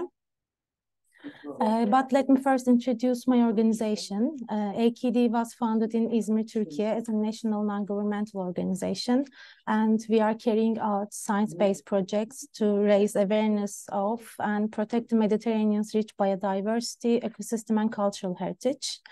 Our work focuses primarily on endangered marine species, such as the Mediterranean monk seal, sandbar shark, and monitoring and restoration of the marine ecosystems co-management of marine protected areas and no fishing zones. And we received many national and international awards regarding our work. The very first one is the Marine Conservation Leadership Award given to our founder and the president of our organization, Zafer Kızılkaya, by Marsh Marine Conservation Leadership. And the most recent one is the Goldman Environmental Prize, uh, also called as Green Nobel and you can look further on our website or social media if you would like to learn more about us. And this is the reason why I am here today. Gökçe Wetland is the first pilot site of the Green Light Protocol, and it's also our first uh, wetland project. Uh, we give a lot of importance to that project because it's really important uh, for us to understand uh, ecological connectivity between the wetland ecosystem and the marine ecosystem. And Gökçe wetland is located near to Akyaka and uh, it is in the it is located in the Gökova special environmental protected areas. So what is the Green Light Protocol? Uh, the Green Light Protocol is a tool created by the Mediterranean Alliance for Wetlands to start a wetland restoration movement in the Mediterranean region. By applying a method to promote restoration projects at the international level by using the power of images. And the protocol has three steps and the process starts with filling a form. Uh, and with that form, you can provide all the details and it is evaluated by the steering committee. And with this protocol, the Alliance supports the NGO, in our case, it was us, in three aspects. The first one is building a common strategy. To build a common strategy, we had workshop to define to our strategy and action plan.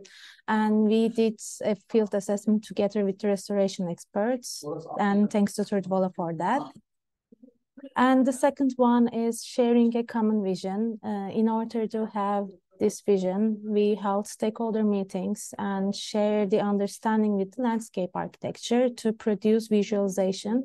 And you can see on the screen that this is the uh, example of the uh, visualization. And after having the first draft, we use that draft to share with the all stakeholders, the local residents, uh, governmental bodies, the businesses in the region, and we uh, conducted conducted surveys about that, and we received their feedbacks and share with the la landscape architecture and updated the uh, visual visualization, and you can see that all most of the uh, most of the interviewees say that they wouldn't like the car traffic in the region and this is how they want to see that area in the future. So last but not least the third phase is the communication materials for public acceptance and fundraising and we prepared that and you can see the uh, pilot uh, you can see the visual we created for the Gökçe wetland and in that visual uh, we try to tell uh, what is important for that wetland area and where is located and uh, which kind of what kind of species uh, they have and how we plan to do restoration activities. And we also prepared a short video that explains both green light protocol and what's happening in Gökçe wetland. So I guess here I can start that. It's a short video, it's only three minutes and I'm also uh, have only a few slides.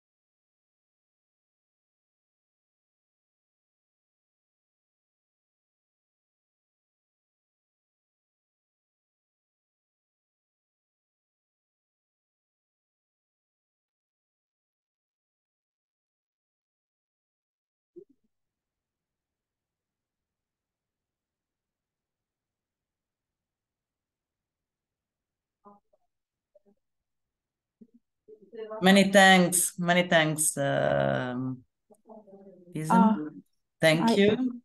I guess there's a problem with the There was a problem with the audio, but what I suggest is that for all those that are interested in, uh, you know, mm, Mhm, I can share the- link in the chat. you can share the link in the chat, Yeah. and it will be really a pleasure to watch the Mhm. video in its full version.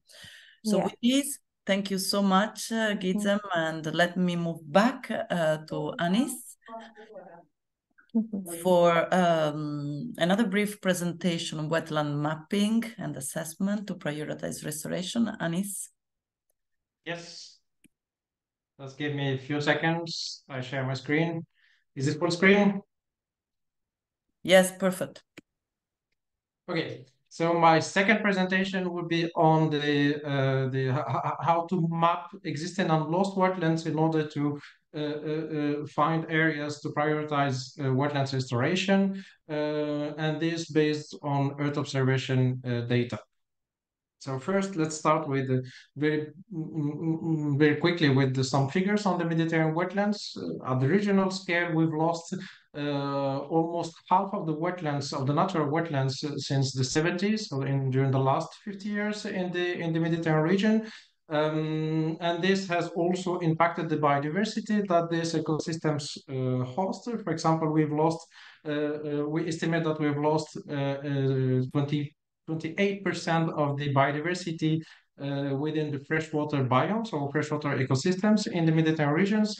And we have uh, also uh, calculated or estimated that 36% of the treated of these species are treated by extension, and it, which is more uh, than the, the global or the Mediterranean, the global average or uh, the average for other Mediterranean ecosystems, marine or terrestrial ecosystems, for instance. So wetlands restoration is under the spotlight because all uh, because of all these trends, increasing social and political demand for the restoration and the rehabilitation of these ecosystems. Um, uh, uh, we have we had the the, the target 15 uh, in 2022 uh, for restoring 15% of degraded uh, ecosystems, which was not achieved at that time. But a new target for 2030 has been proposed and, uh, and under uh, uh, agreement. And we have also financial, uh, increase in financial resources available for uh, ecosystem restoration and ecological restoration, restoration in general, and uh, more specifically for wetlands. So let's massively restore wetlands. This is what we can think uh, uh, when we see all the all this uh, this uh, these numbers and figures.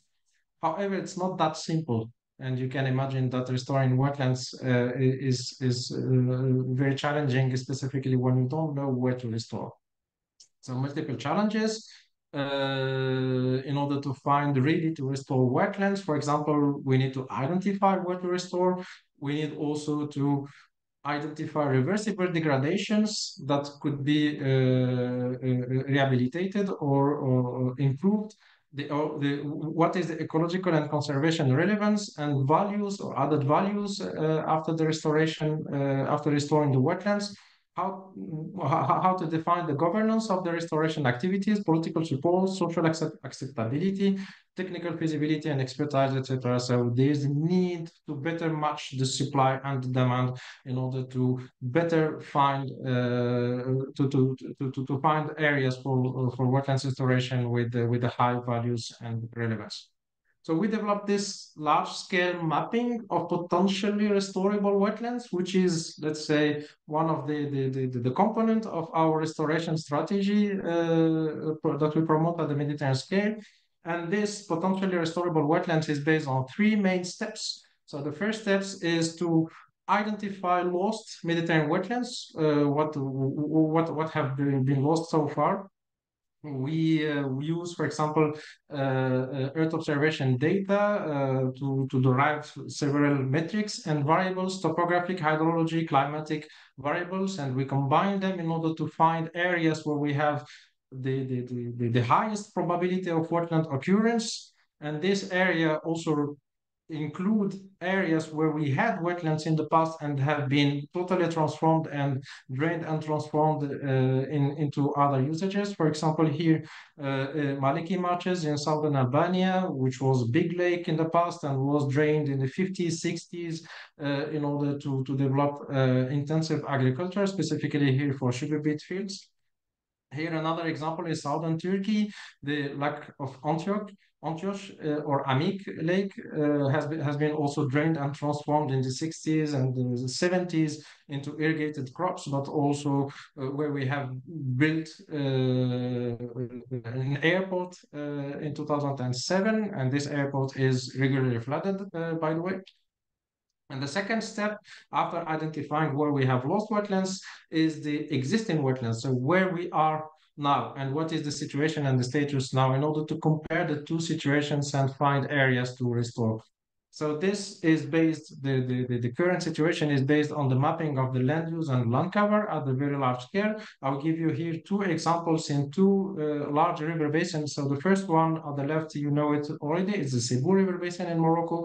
And the second one is the Medjerda River Basin between Algeria and and Tunisia. Uh, so both are in the Maghreb countries. And based on this map, we can identify the wetlands, where are the wetlands, the current situation and the current status of this wetlands habitats, and what are the main pressures that they, they, they, they are facing, specifically uh, urban and uh, uh, agriculture pressures. Then the third step is to combine both.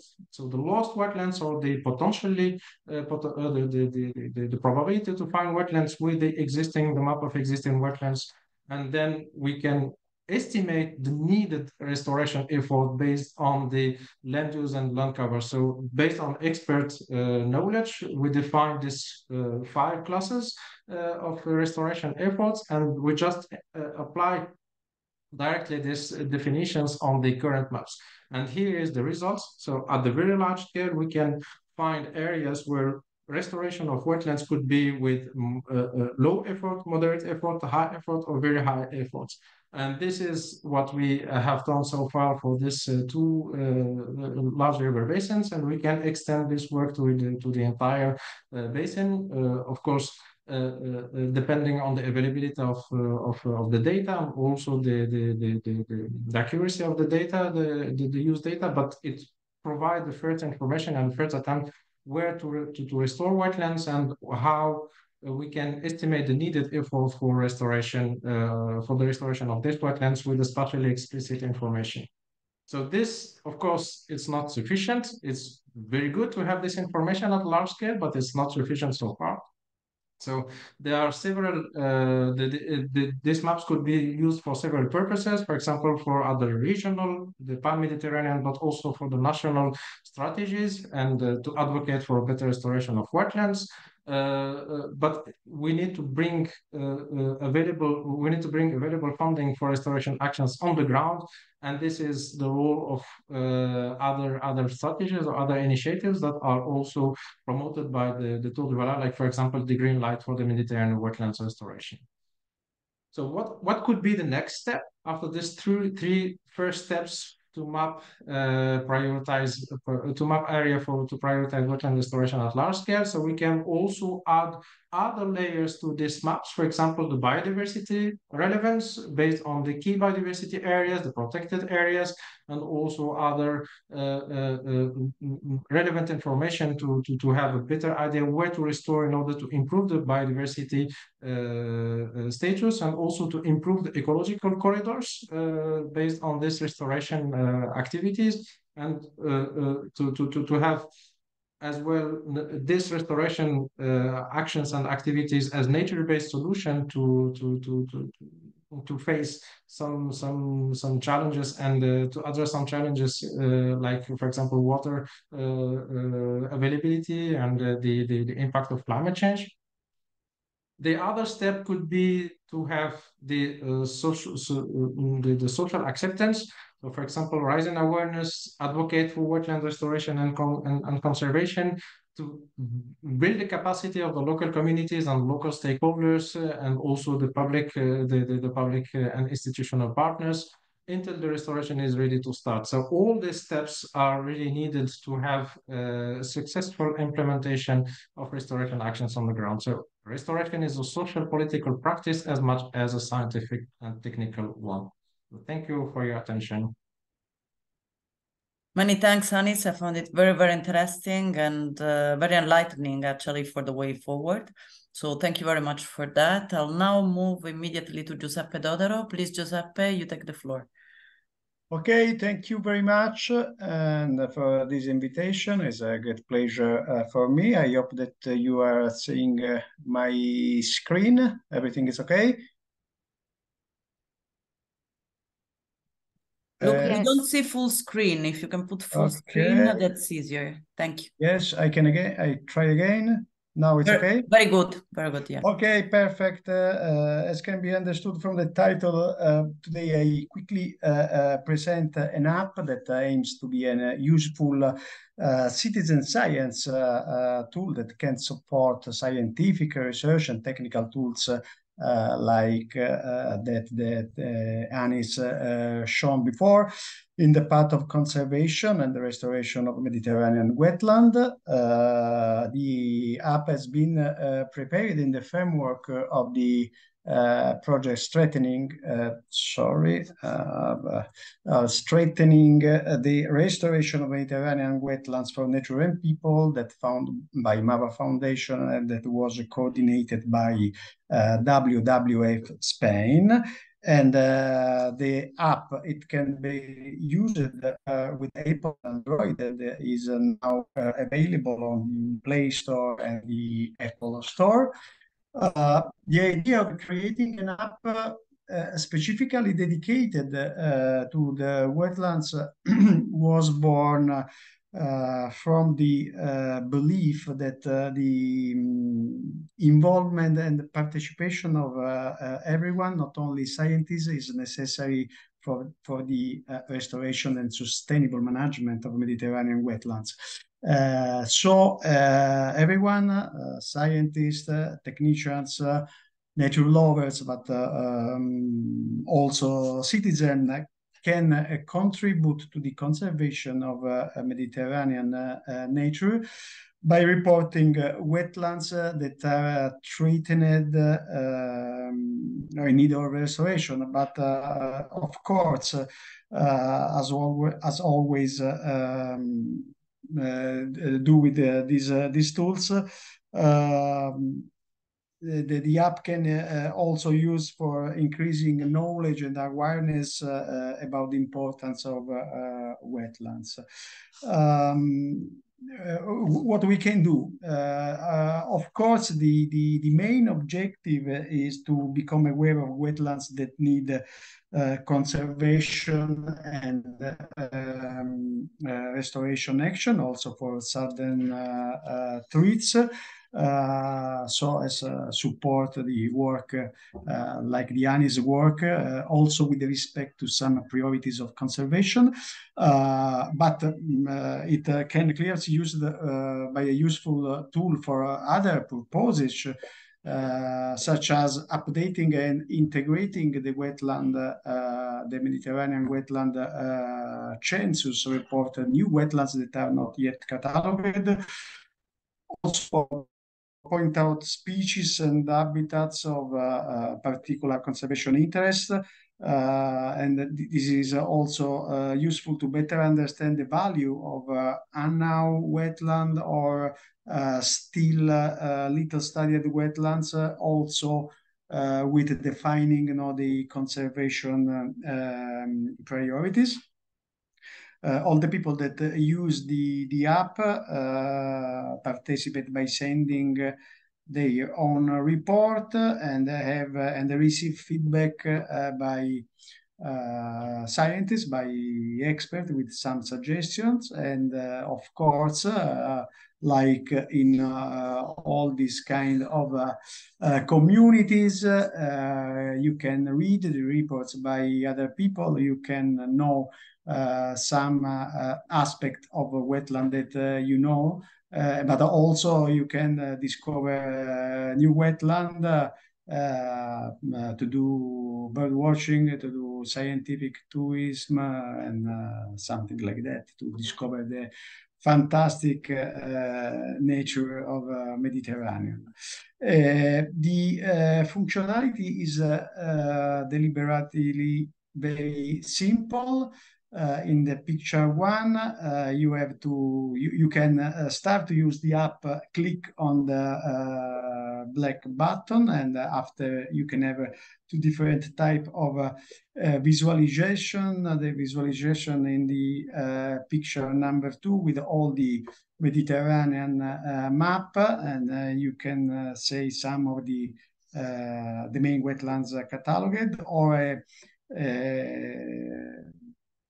more specific map like uh, that, that you can see in picture number three uh, with your position, uh, uh which was my position uh, when I used it last time, the uh, the app in in Rome. in both cases, you can move on on the map. you can make it bigger or, or, smaller to find the wetland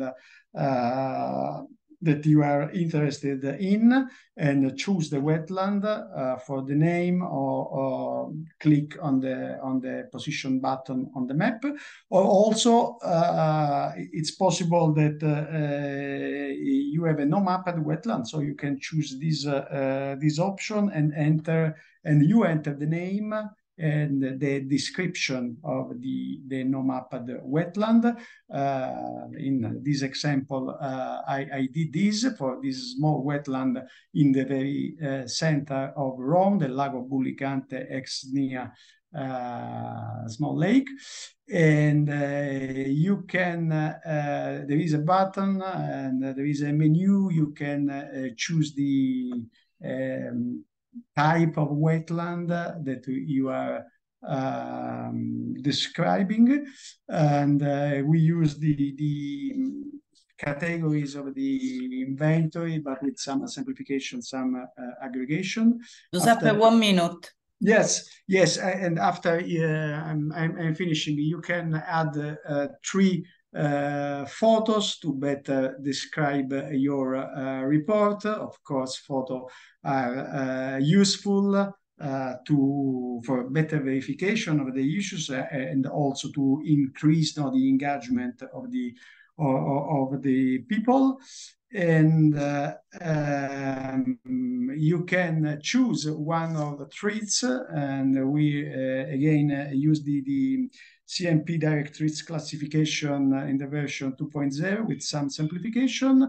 And you can uh, also add uh, some other notes like uh, habitats of species, but if you can ask uh, something about the, um, the, the of, of, difficult or specific on uh, nature issues, the, the system redirect you on uh, specific uh, citizen science uh, sites like iNaturalist, and at the end you send the report, the experts uh, checked and uh, validated the, your report, and after you can, they, they publicate the report, and you can see your, your report on uh, on the app and the visualization of your report.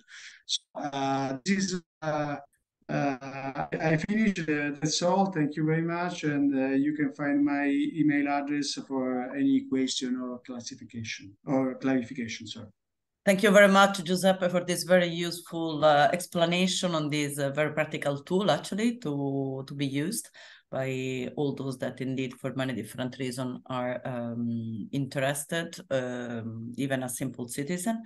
So we will now move forward to a very important session related indeed to partnership and uh, funding. I mean, all this work, uh, the work that has been presented, relies heavily on all this support. So I'm pleased uh, to have the four colleagues with us from different, uh, let's say, organization and program. I will now give immediately the floor to Miss Léa Glatre uh, de la Fondation Prince Albert uh, de Monaco. So Léa, uh, s'il vous plaît, vous êtes là? Yes. Vous avez la parole, parfait. Thank you. Alors.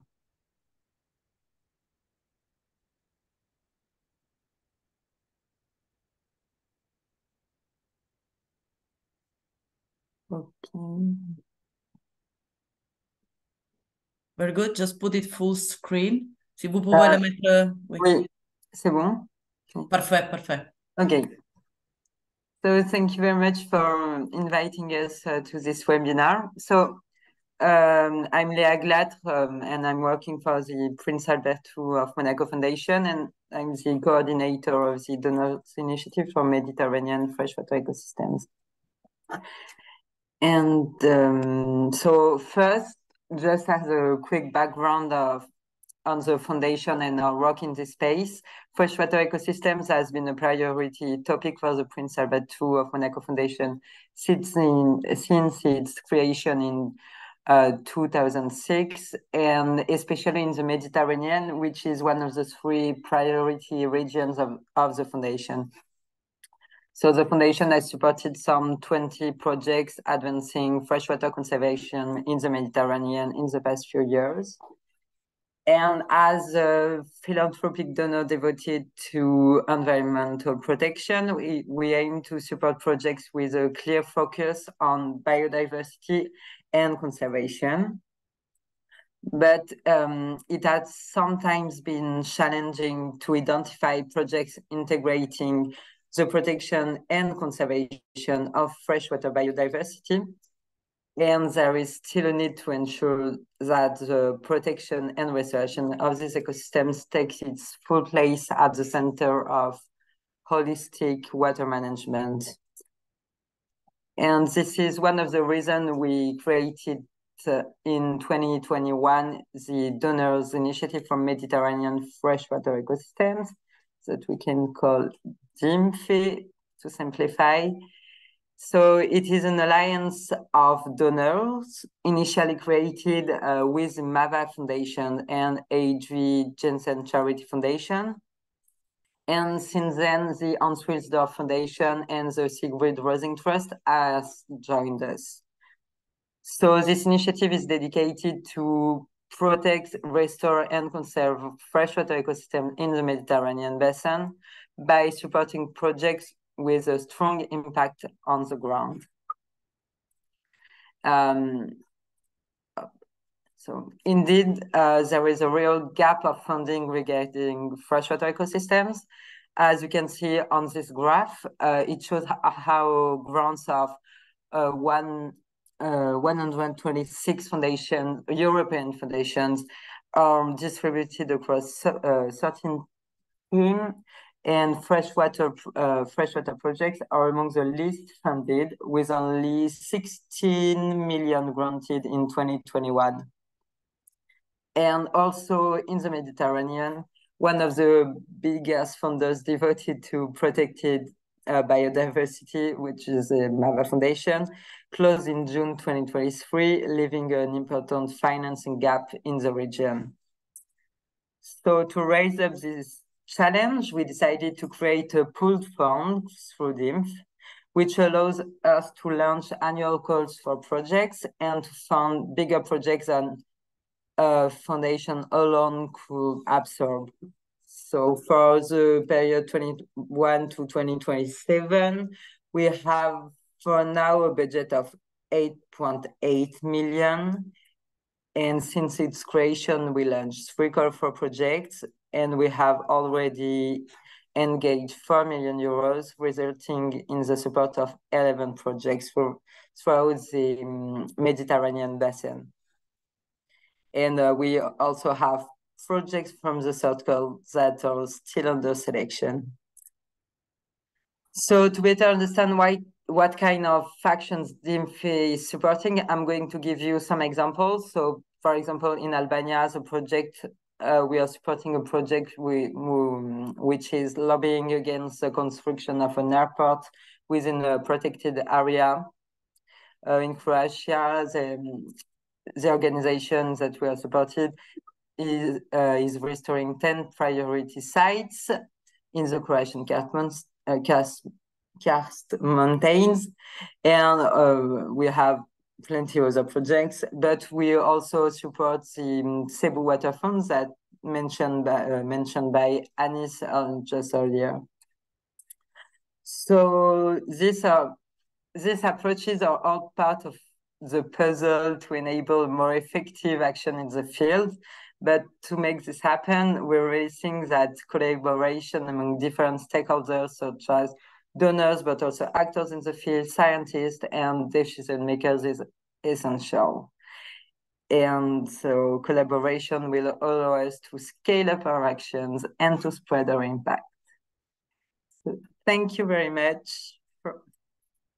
Thank you very much, Leah. And actually, I want to point on uh, indeed your last uh, sentence, meaning indeed that the purpose also of these uh, annual online calls uh, was specifically this. I mean, to gather the different stakeholders and indeed, you know, to promote uh, these uh, opportunities of collaboration around this very important issue. Another um, question that I quickly want to pose to you: When it's next call? When do you expect your next call? Uh, I think it. We haven't fixed that yet, but I think it will be end of August 2024. 2024. Thank you very much, Leah, for being with us. Thank you. Thank you. I will now pass the floor to Vincent Ernoult from um, here. It's written the ENI CBC Med program, but in fact the program has been renamed, and by now it's uh, the um, Interreg Next Med uh, program. Vincent, the floor is yours. Thank you very much, uh, Alessandra, and uh, I'll try to be as quick as possible. I know that you are under. I'm very sorry for uh, the yeah, time don't, don't, don't management. and uh, well, it's it's uh, you're doing a pretty impressive work because moderating such a long session it's it's quite uh, tough. So let me. well, I'm sharing the screen, so you will see it in a while. You should be able to see it now, and let's go directly to the to the point. Uh, most of you know ENI-CBC Med program, and now indeed we are called Interreg Next Med program. The good point is that this uh, conference is uh, happening on the day in which we are probably going to launch the call. If not today, it will be next Monday, but it's it's very very imminent. So to remember to remind you of vision, we have one vision and we have one goal, and it is to contribute to a better Mediterranean, smarter greener, and more social. This is a global vision. Yeah, I'm, I'm not sure if you see, okay, now it's done. And this is the countries that are participating. You know, we are working with 15 countries. We have two newcomers, which are Algeria and Turkey. I'm going very quick because the essential point is a bit further away. 103 million available for the first call that is going to be launched today or on Monday. So a massive amount of money, accounting for 45% of our total budget. We finance up to 89% of the costs, and we are going to be open to three different types of projects. Thematic, use-oriented, meaning people that will deliver, especially to the young people, and also governance. This is the size of the project, just to give you a, a very, a very short and uh, first side impression projects that will go from half a million to 2.5 million, depending on the type of project that you are going to submit. And this is the slide that I want to uh, see a bit more in detail with you. Three minutes, uh, not more. And and I want to, to connect with, of course, with wetlands and with the threats and challenges that Mediterranean wetlands are suffering and what you can do in our program it is true that we don't have a specific thematic or a specific objective on the protection of the environment. Of course, we do not have a specific objective on wetlands, but still there is room to address the challenges of wetlands in our program. I have no doubt about this. So this is the thematic architecture of the program with four priorities and nine specific objectives. In green, of course, you have the priority on climate change and environment. And I think that if I would um, work for wetlands, I would go for a few of these objectives. Not all of them mm, are connected with you, but I see at least a few, a few of them. First one would be uh, 2.3, which is a, uh, access to water, water management, and improving water efficiency. Of course, we know that if there are less resources, less water in, uh, in, in, in, wetlands, it is also, or mainly because I'm not an expert, but mainly because of agriculture drainage. So there, if we improve uh, water efficiency and the way water is managed, I'm sure that this will be interesting for you. Also 2.2, where we will address all the risks and consequences of uh, climate change, so catastrophes, but also uh, the impact that climate change can have on, on, on wetlands. Then I see also a big opportunity in 4.1, which is new and which is governance. There we can address the way all the uh, Mediterranean policies or challenges are addressed with the scope of improving the public services, the way they are delivered, and to improve also the relations between citizens and public administrations. And there, the challenge addressed by you could be, of course, the way the wetlands are managed, because they are mismanagements and they are poor management. So there is room for improvement there too.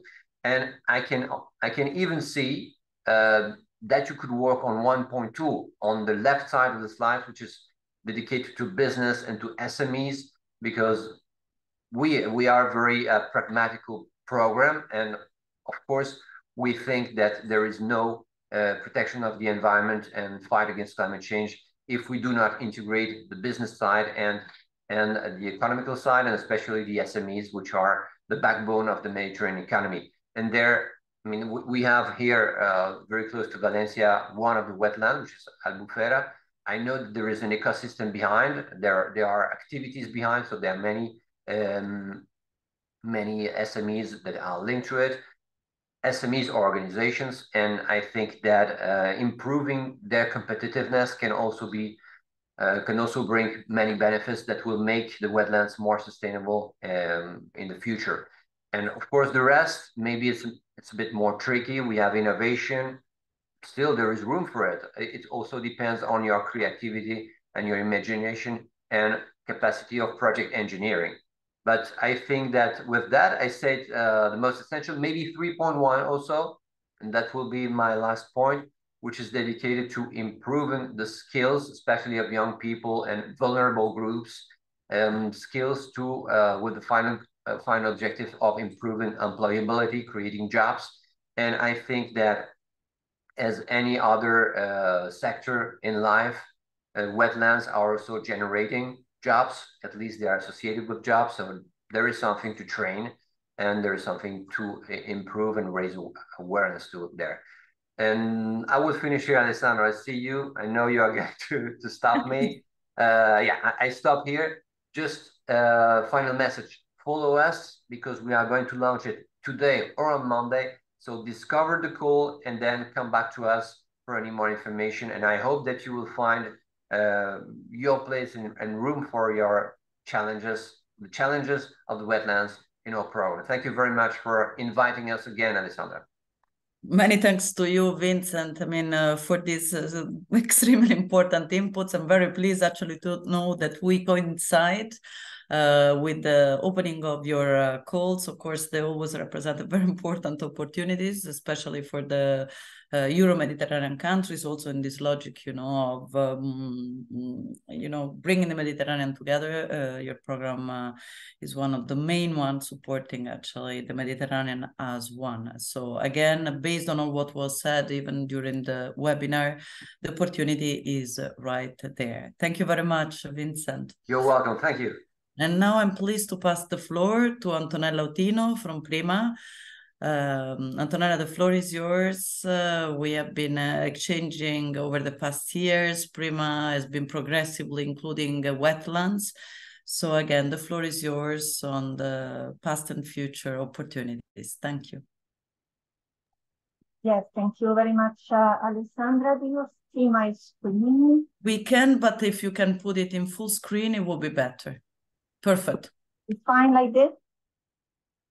So, thank you very much. Then, uh, yes, I want to express my gratitude again to MedWet and uh, and uh, the Union of, uh, for the Mediterranean, of course, Alessandra, for inviting Prima today um, uh, in this uh, conference.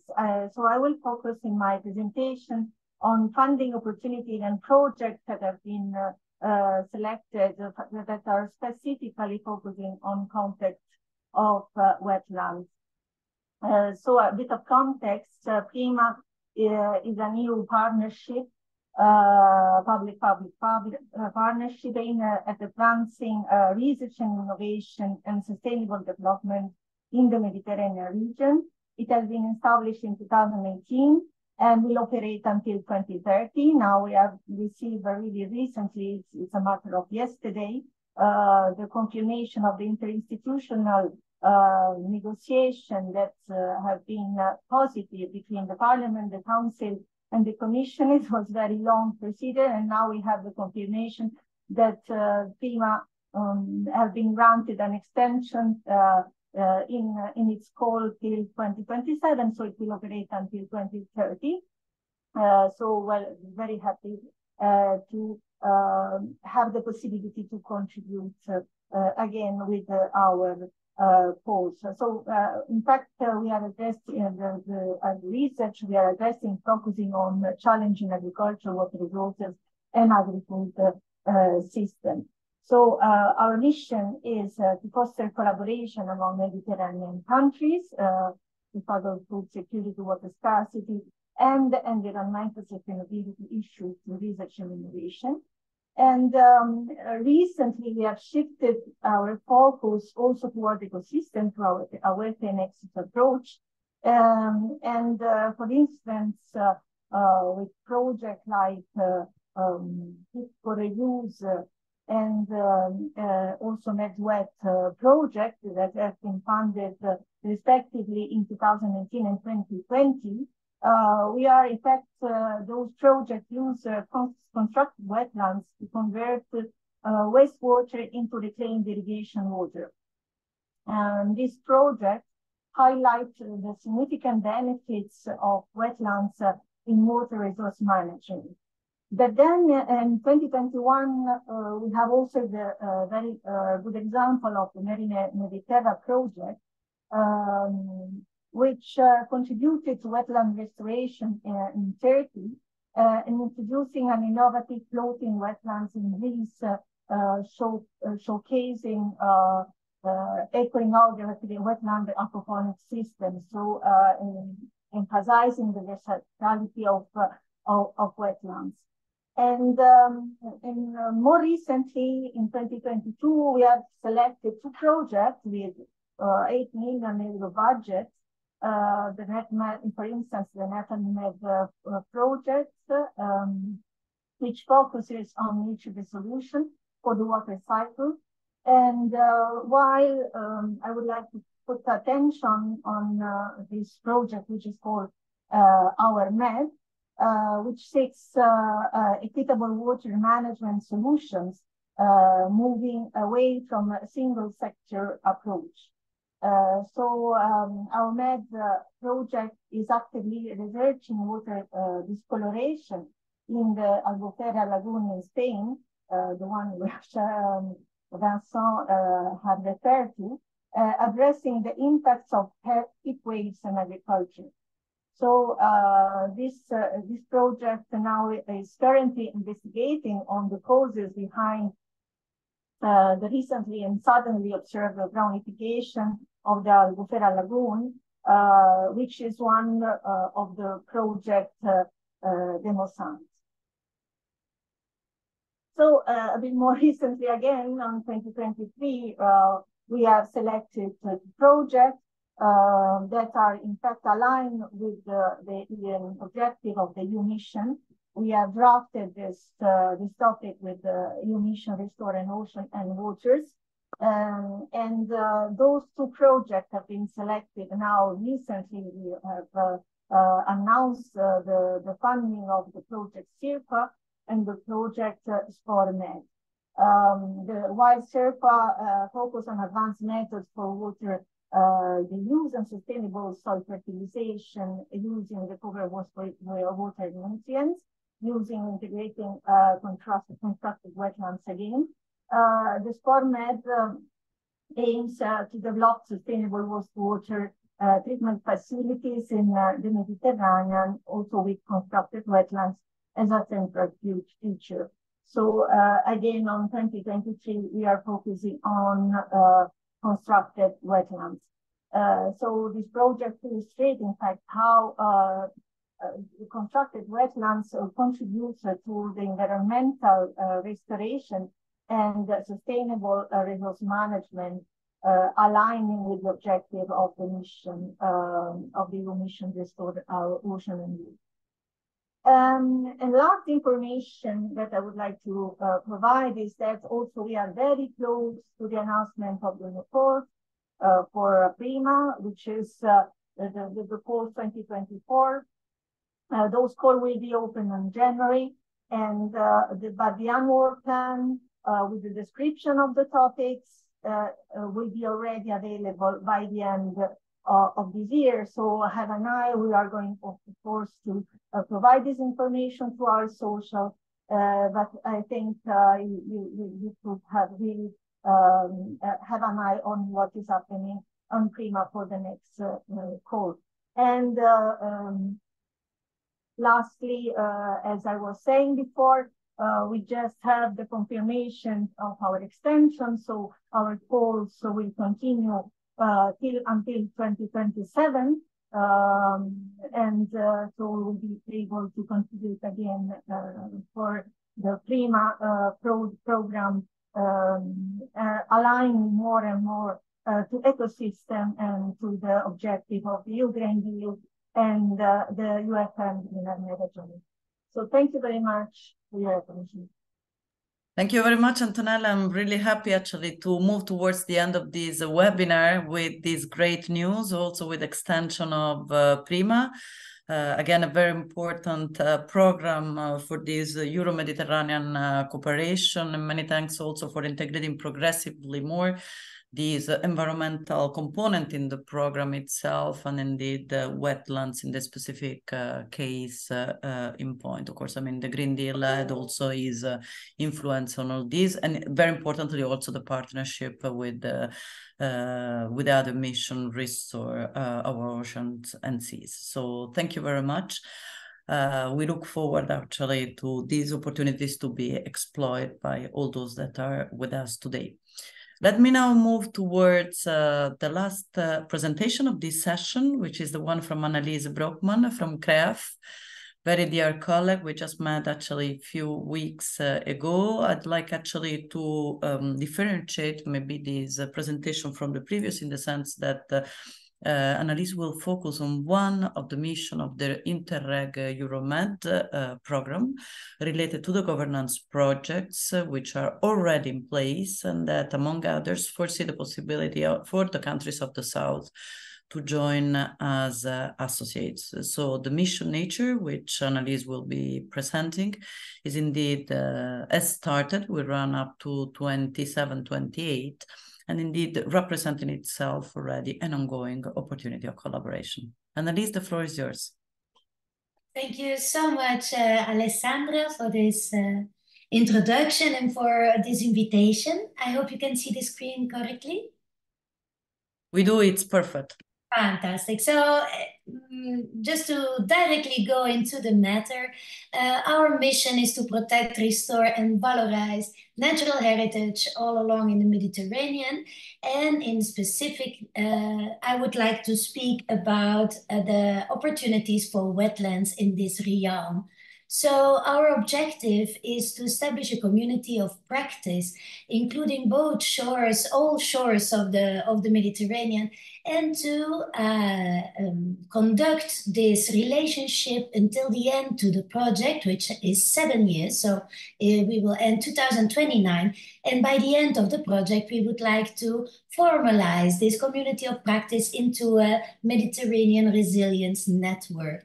Uh, this wants to enhance the coordination between uh, multi-level stakeholders, programs, strategies, and initiatives all along the Mediterranean in order to tackle specific topics on environmental restoration uh, by mainstreaming transferable results from the Interreg Euromed program, the thematic projects into effective strategies and practices, and of course, mainstream into policies in all these different realities.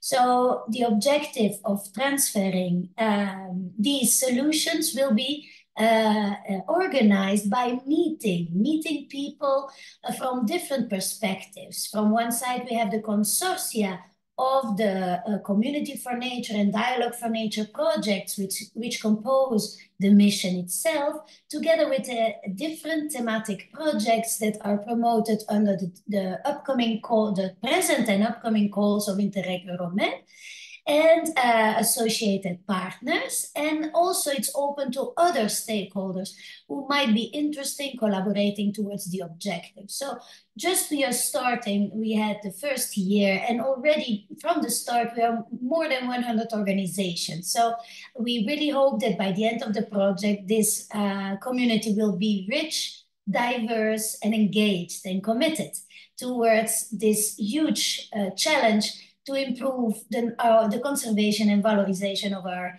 natural heritage. Uh, the thematical projects are the key, are the, are the soul of the generation of these solutions to be transferred. And we can announce that recently, very recently, we got the first uh, group of thematic projects that were approved by the program, uh, 13 to be precise, and we selected today two uh, because they are dealing with wetlands. So we would like to share that these projects are going to be implemented in the upcoming three years. Um, one of them is called Wetlands Solutions for Change. It's a test project where five pilot sites in different countries will be developed in order to boost the actions to enhance carbon sequestration and flood regulation, engaging uh, science, engaging users, engaging stakeholders, and trying to build this transnational hub for wetland climate solutions. We also have a transfer project. It's called Wetland Governance Through Community of Practice, uh, which presents or, or tries to, um, let's say, upscale and already consolidated um, experience of the wetland contracts, which is a governance tool uh, that tries to um, foster the coordination between organizations and try to exchange experiences, methodologies, and transfer uh, best solutions all through the Euromed region. Um, these two projects will be the first step towards uh, our activities on wetlands, and uh, we hope they will be fruitful for exchanges, for knowledge, knowledge sharing. And in order to do so, we really are trying to build up a catalog of solutions for foster, uh, to, as a basis for this transference.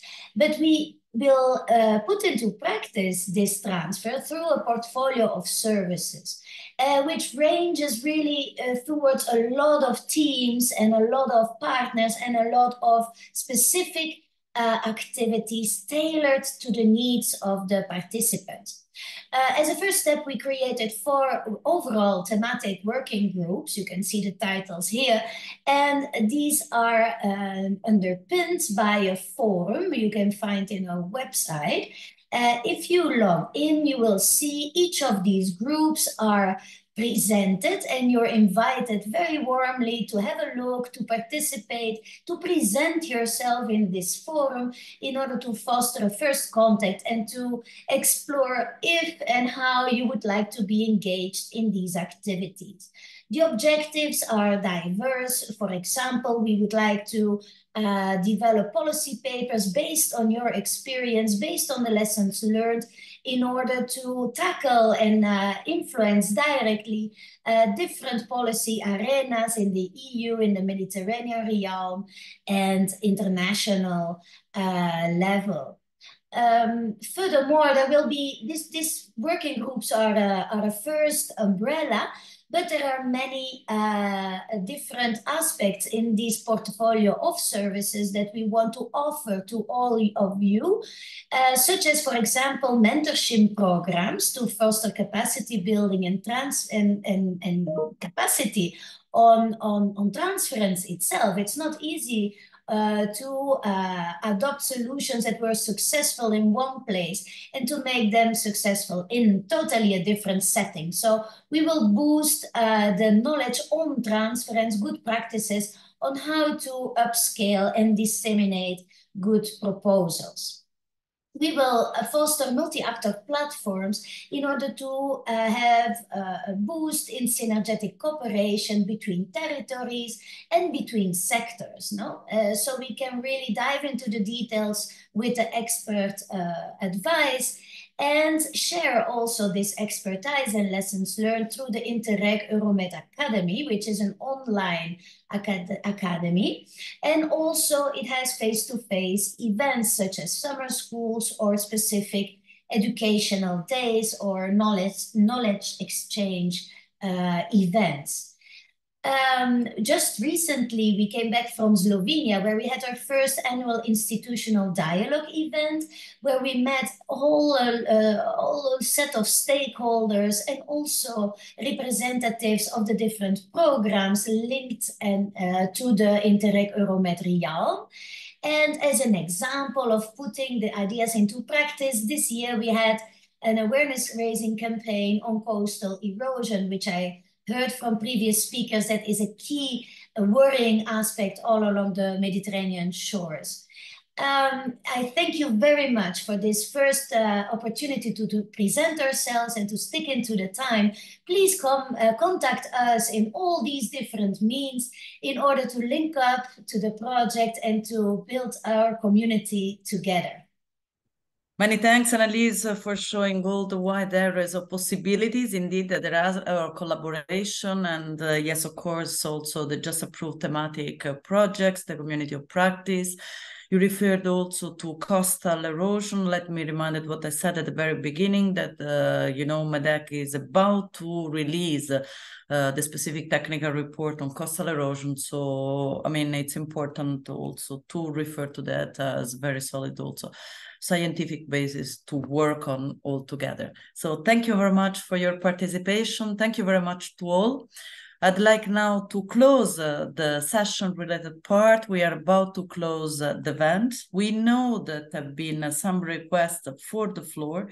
Unfortunately, we are not able to use uh, uh, you know this uh, direct tool we would like and wish you to write any question on the chat and if so in the very next uh, uh, minute. But if not we remain available to reply any of your questions to put you in contact with the colleagues and speakers you wish uh, to um, follow up with. And uh, with this last word i thank you for your participation on behalf of the union for the mediterranean and I give the floor to my other colleague, Federic Dedenechen, for also uh, his inputs and uh, final remarks. Thank you very much to everybody. Federic, are Grazie, you... Alessandra. Can you hear me? We can, we can hear okay, you. Okay, good. Um, three points. First, congrats to the team, the UFM and, and uh, WEDMED team for, for this, this fascinating workshop. This is my first participation and really I followed from the beginning to the end, and, and the presentations were really outstanding. So thank you to, to the panelists. They have taken us through a, a journey uh, through many different countries, many different topics, and at uh, all levels, regional, national, and local. It was really fascinating. Um, I'm back from COP28, where uh, we met with uh, Razan Al Mubarak. Uh, you may have heard of her. She's the COP 28 climate champion. She brings in the non-state actors in the process. She's also the president of IUCN, where the Ramsar uh, Secretariat is uh, co-hosted, uh, co-located. And, and she has put nature, including uh, wetlands, at the center of the COP. And there was one day dedicated to nature, land use, and, uh, and ocean.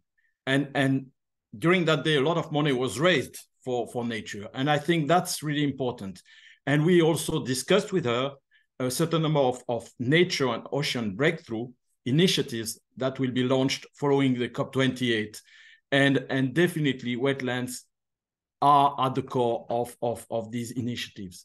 So this is very good news. And I think uh, that uh, as final conclusion, I would like to thank the 80 plus participants. This is quite outstanding to have um, 80 plus participants during two hours uh, uh, in, a, in, a, in a workshop, in a webinar.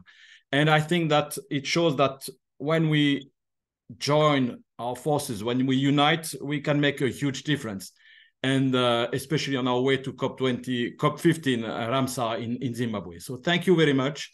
And uh, looking forward to uh, continue working on this very important topic. Many thanks, uh, Federico, also for your contribution and the testimony also from the water, uh, let's say, team, which we are all part of. And many special thanks uh, on this occasion also to Hélène for having uh, supported us throughout this uh, uh, webinar, but also over the past months.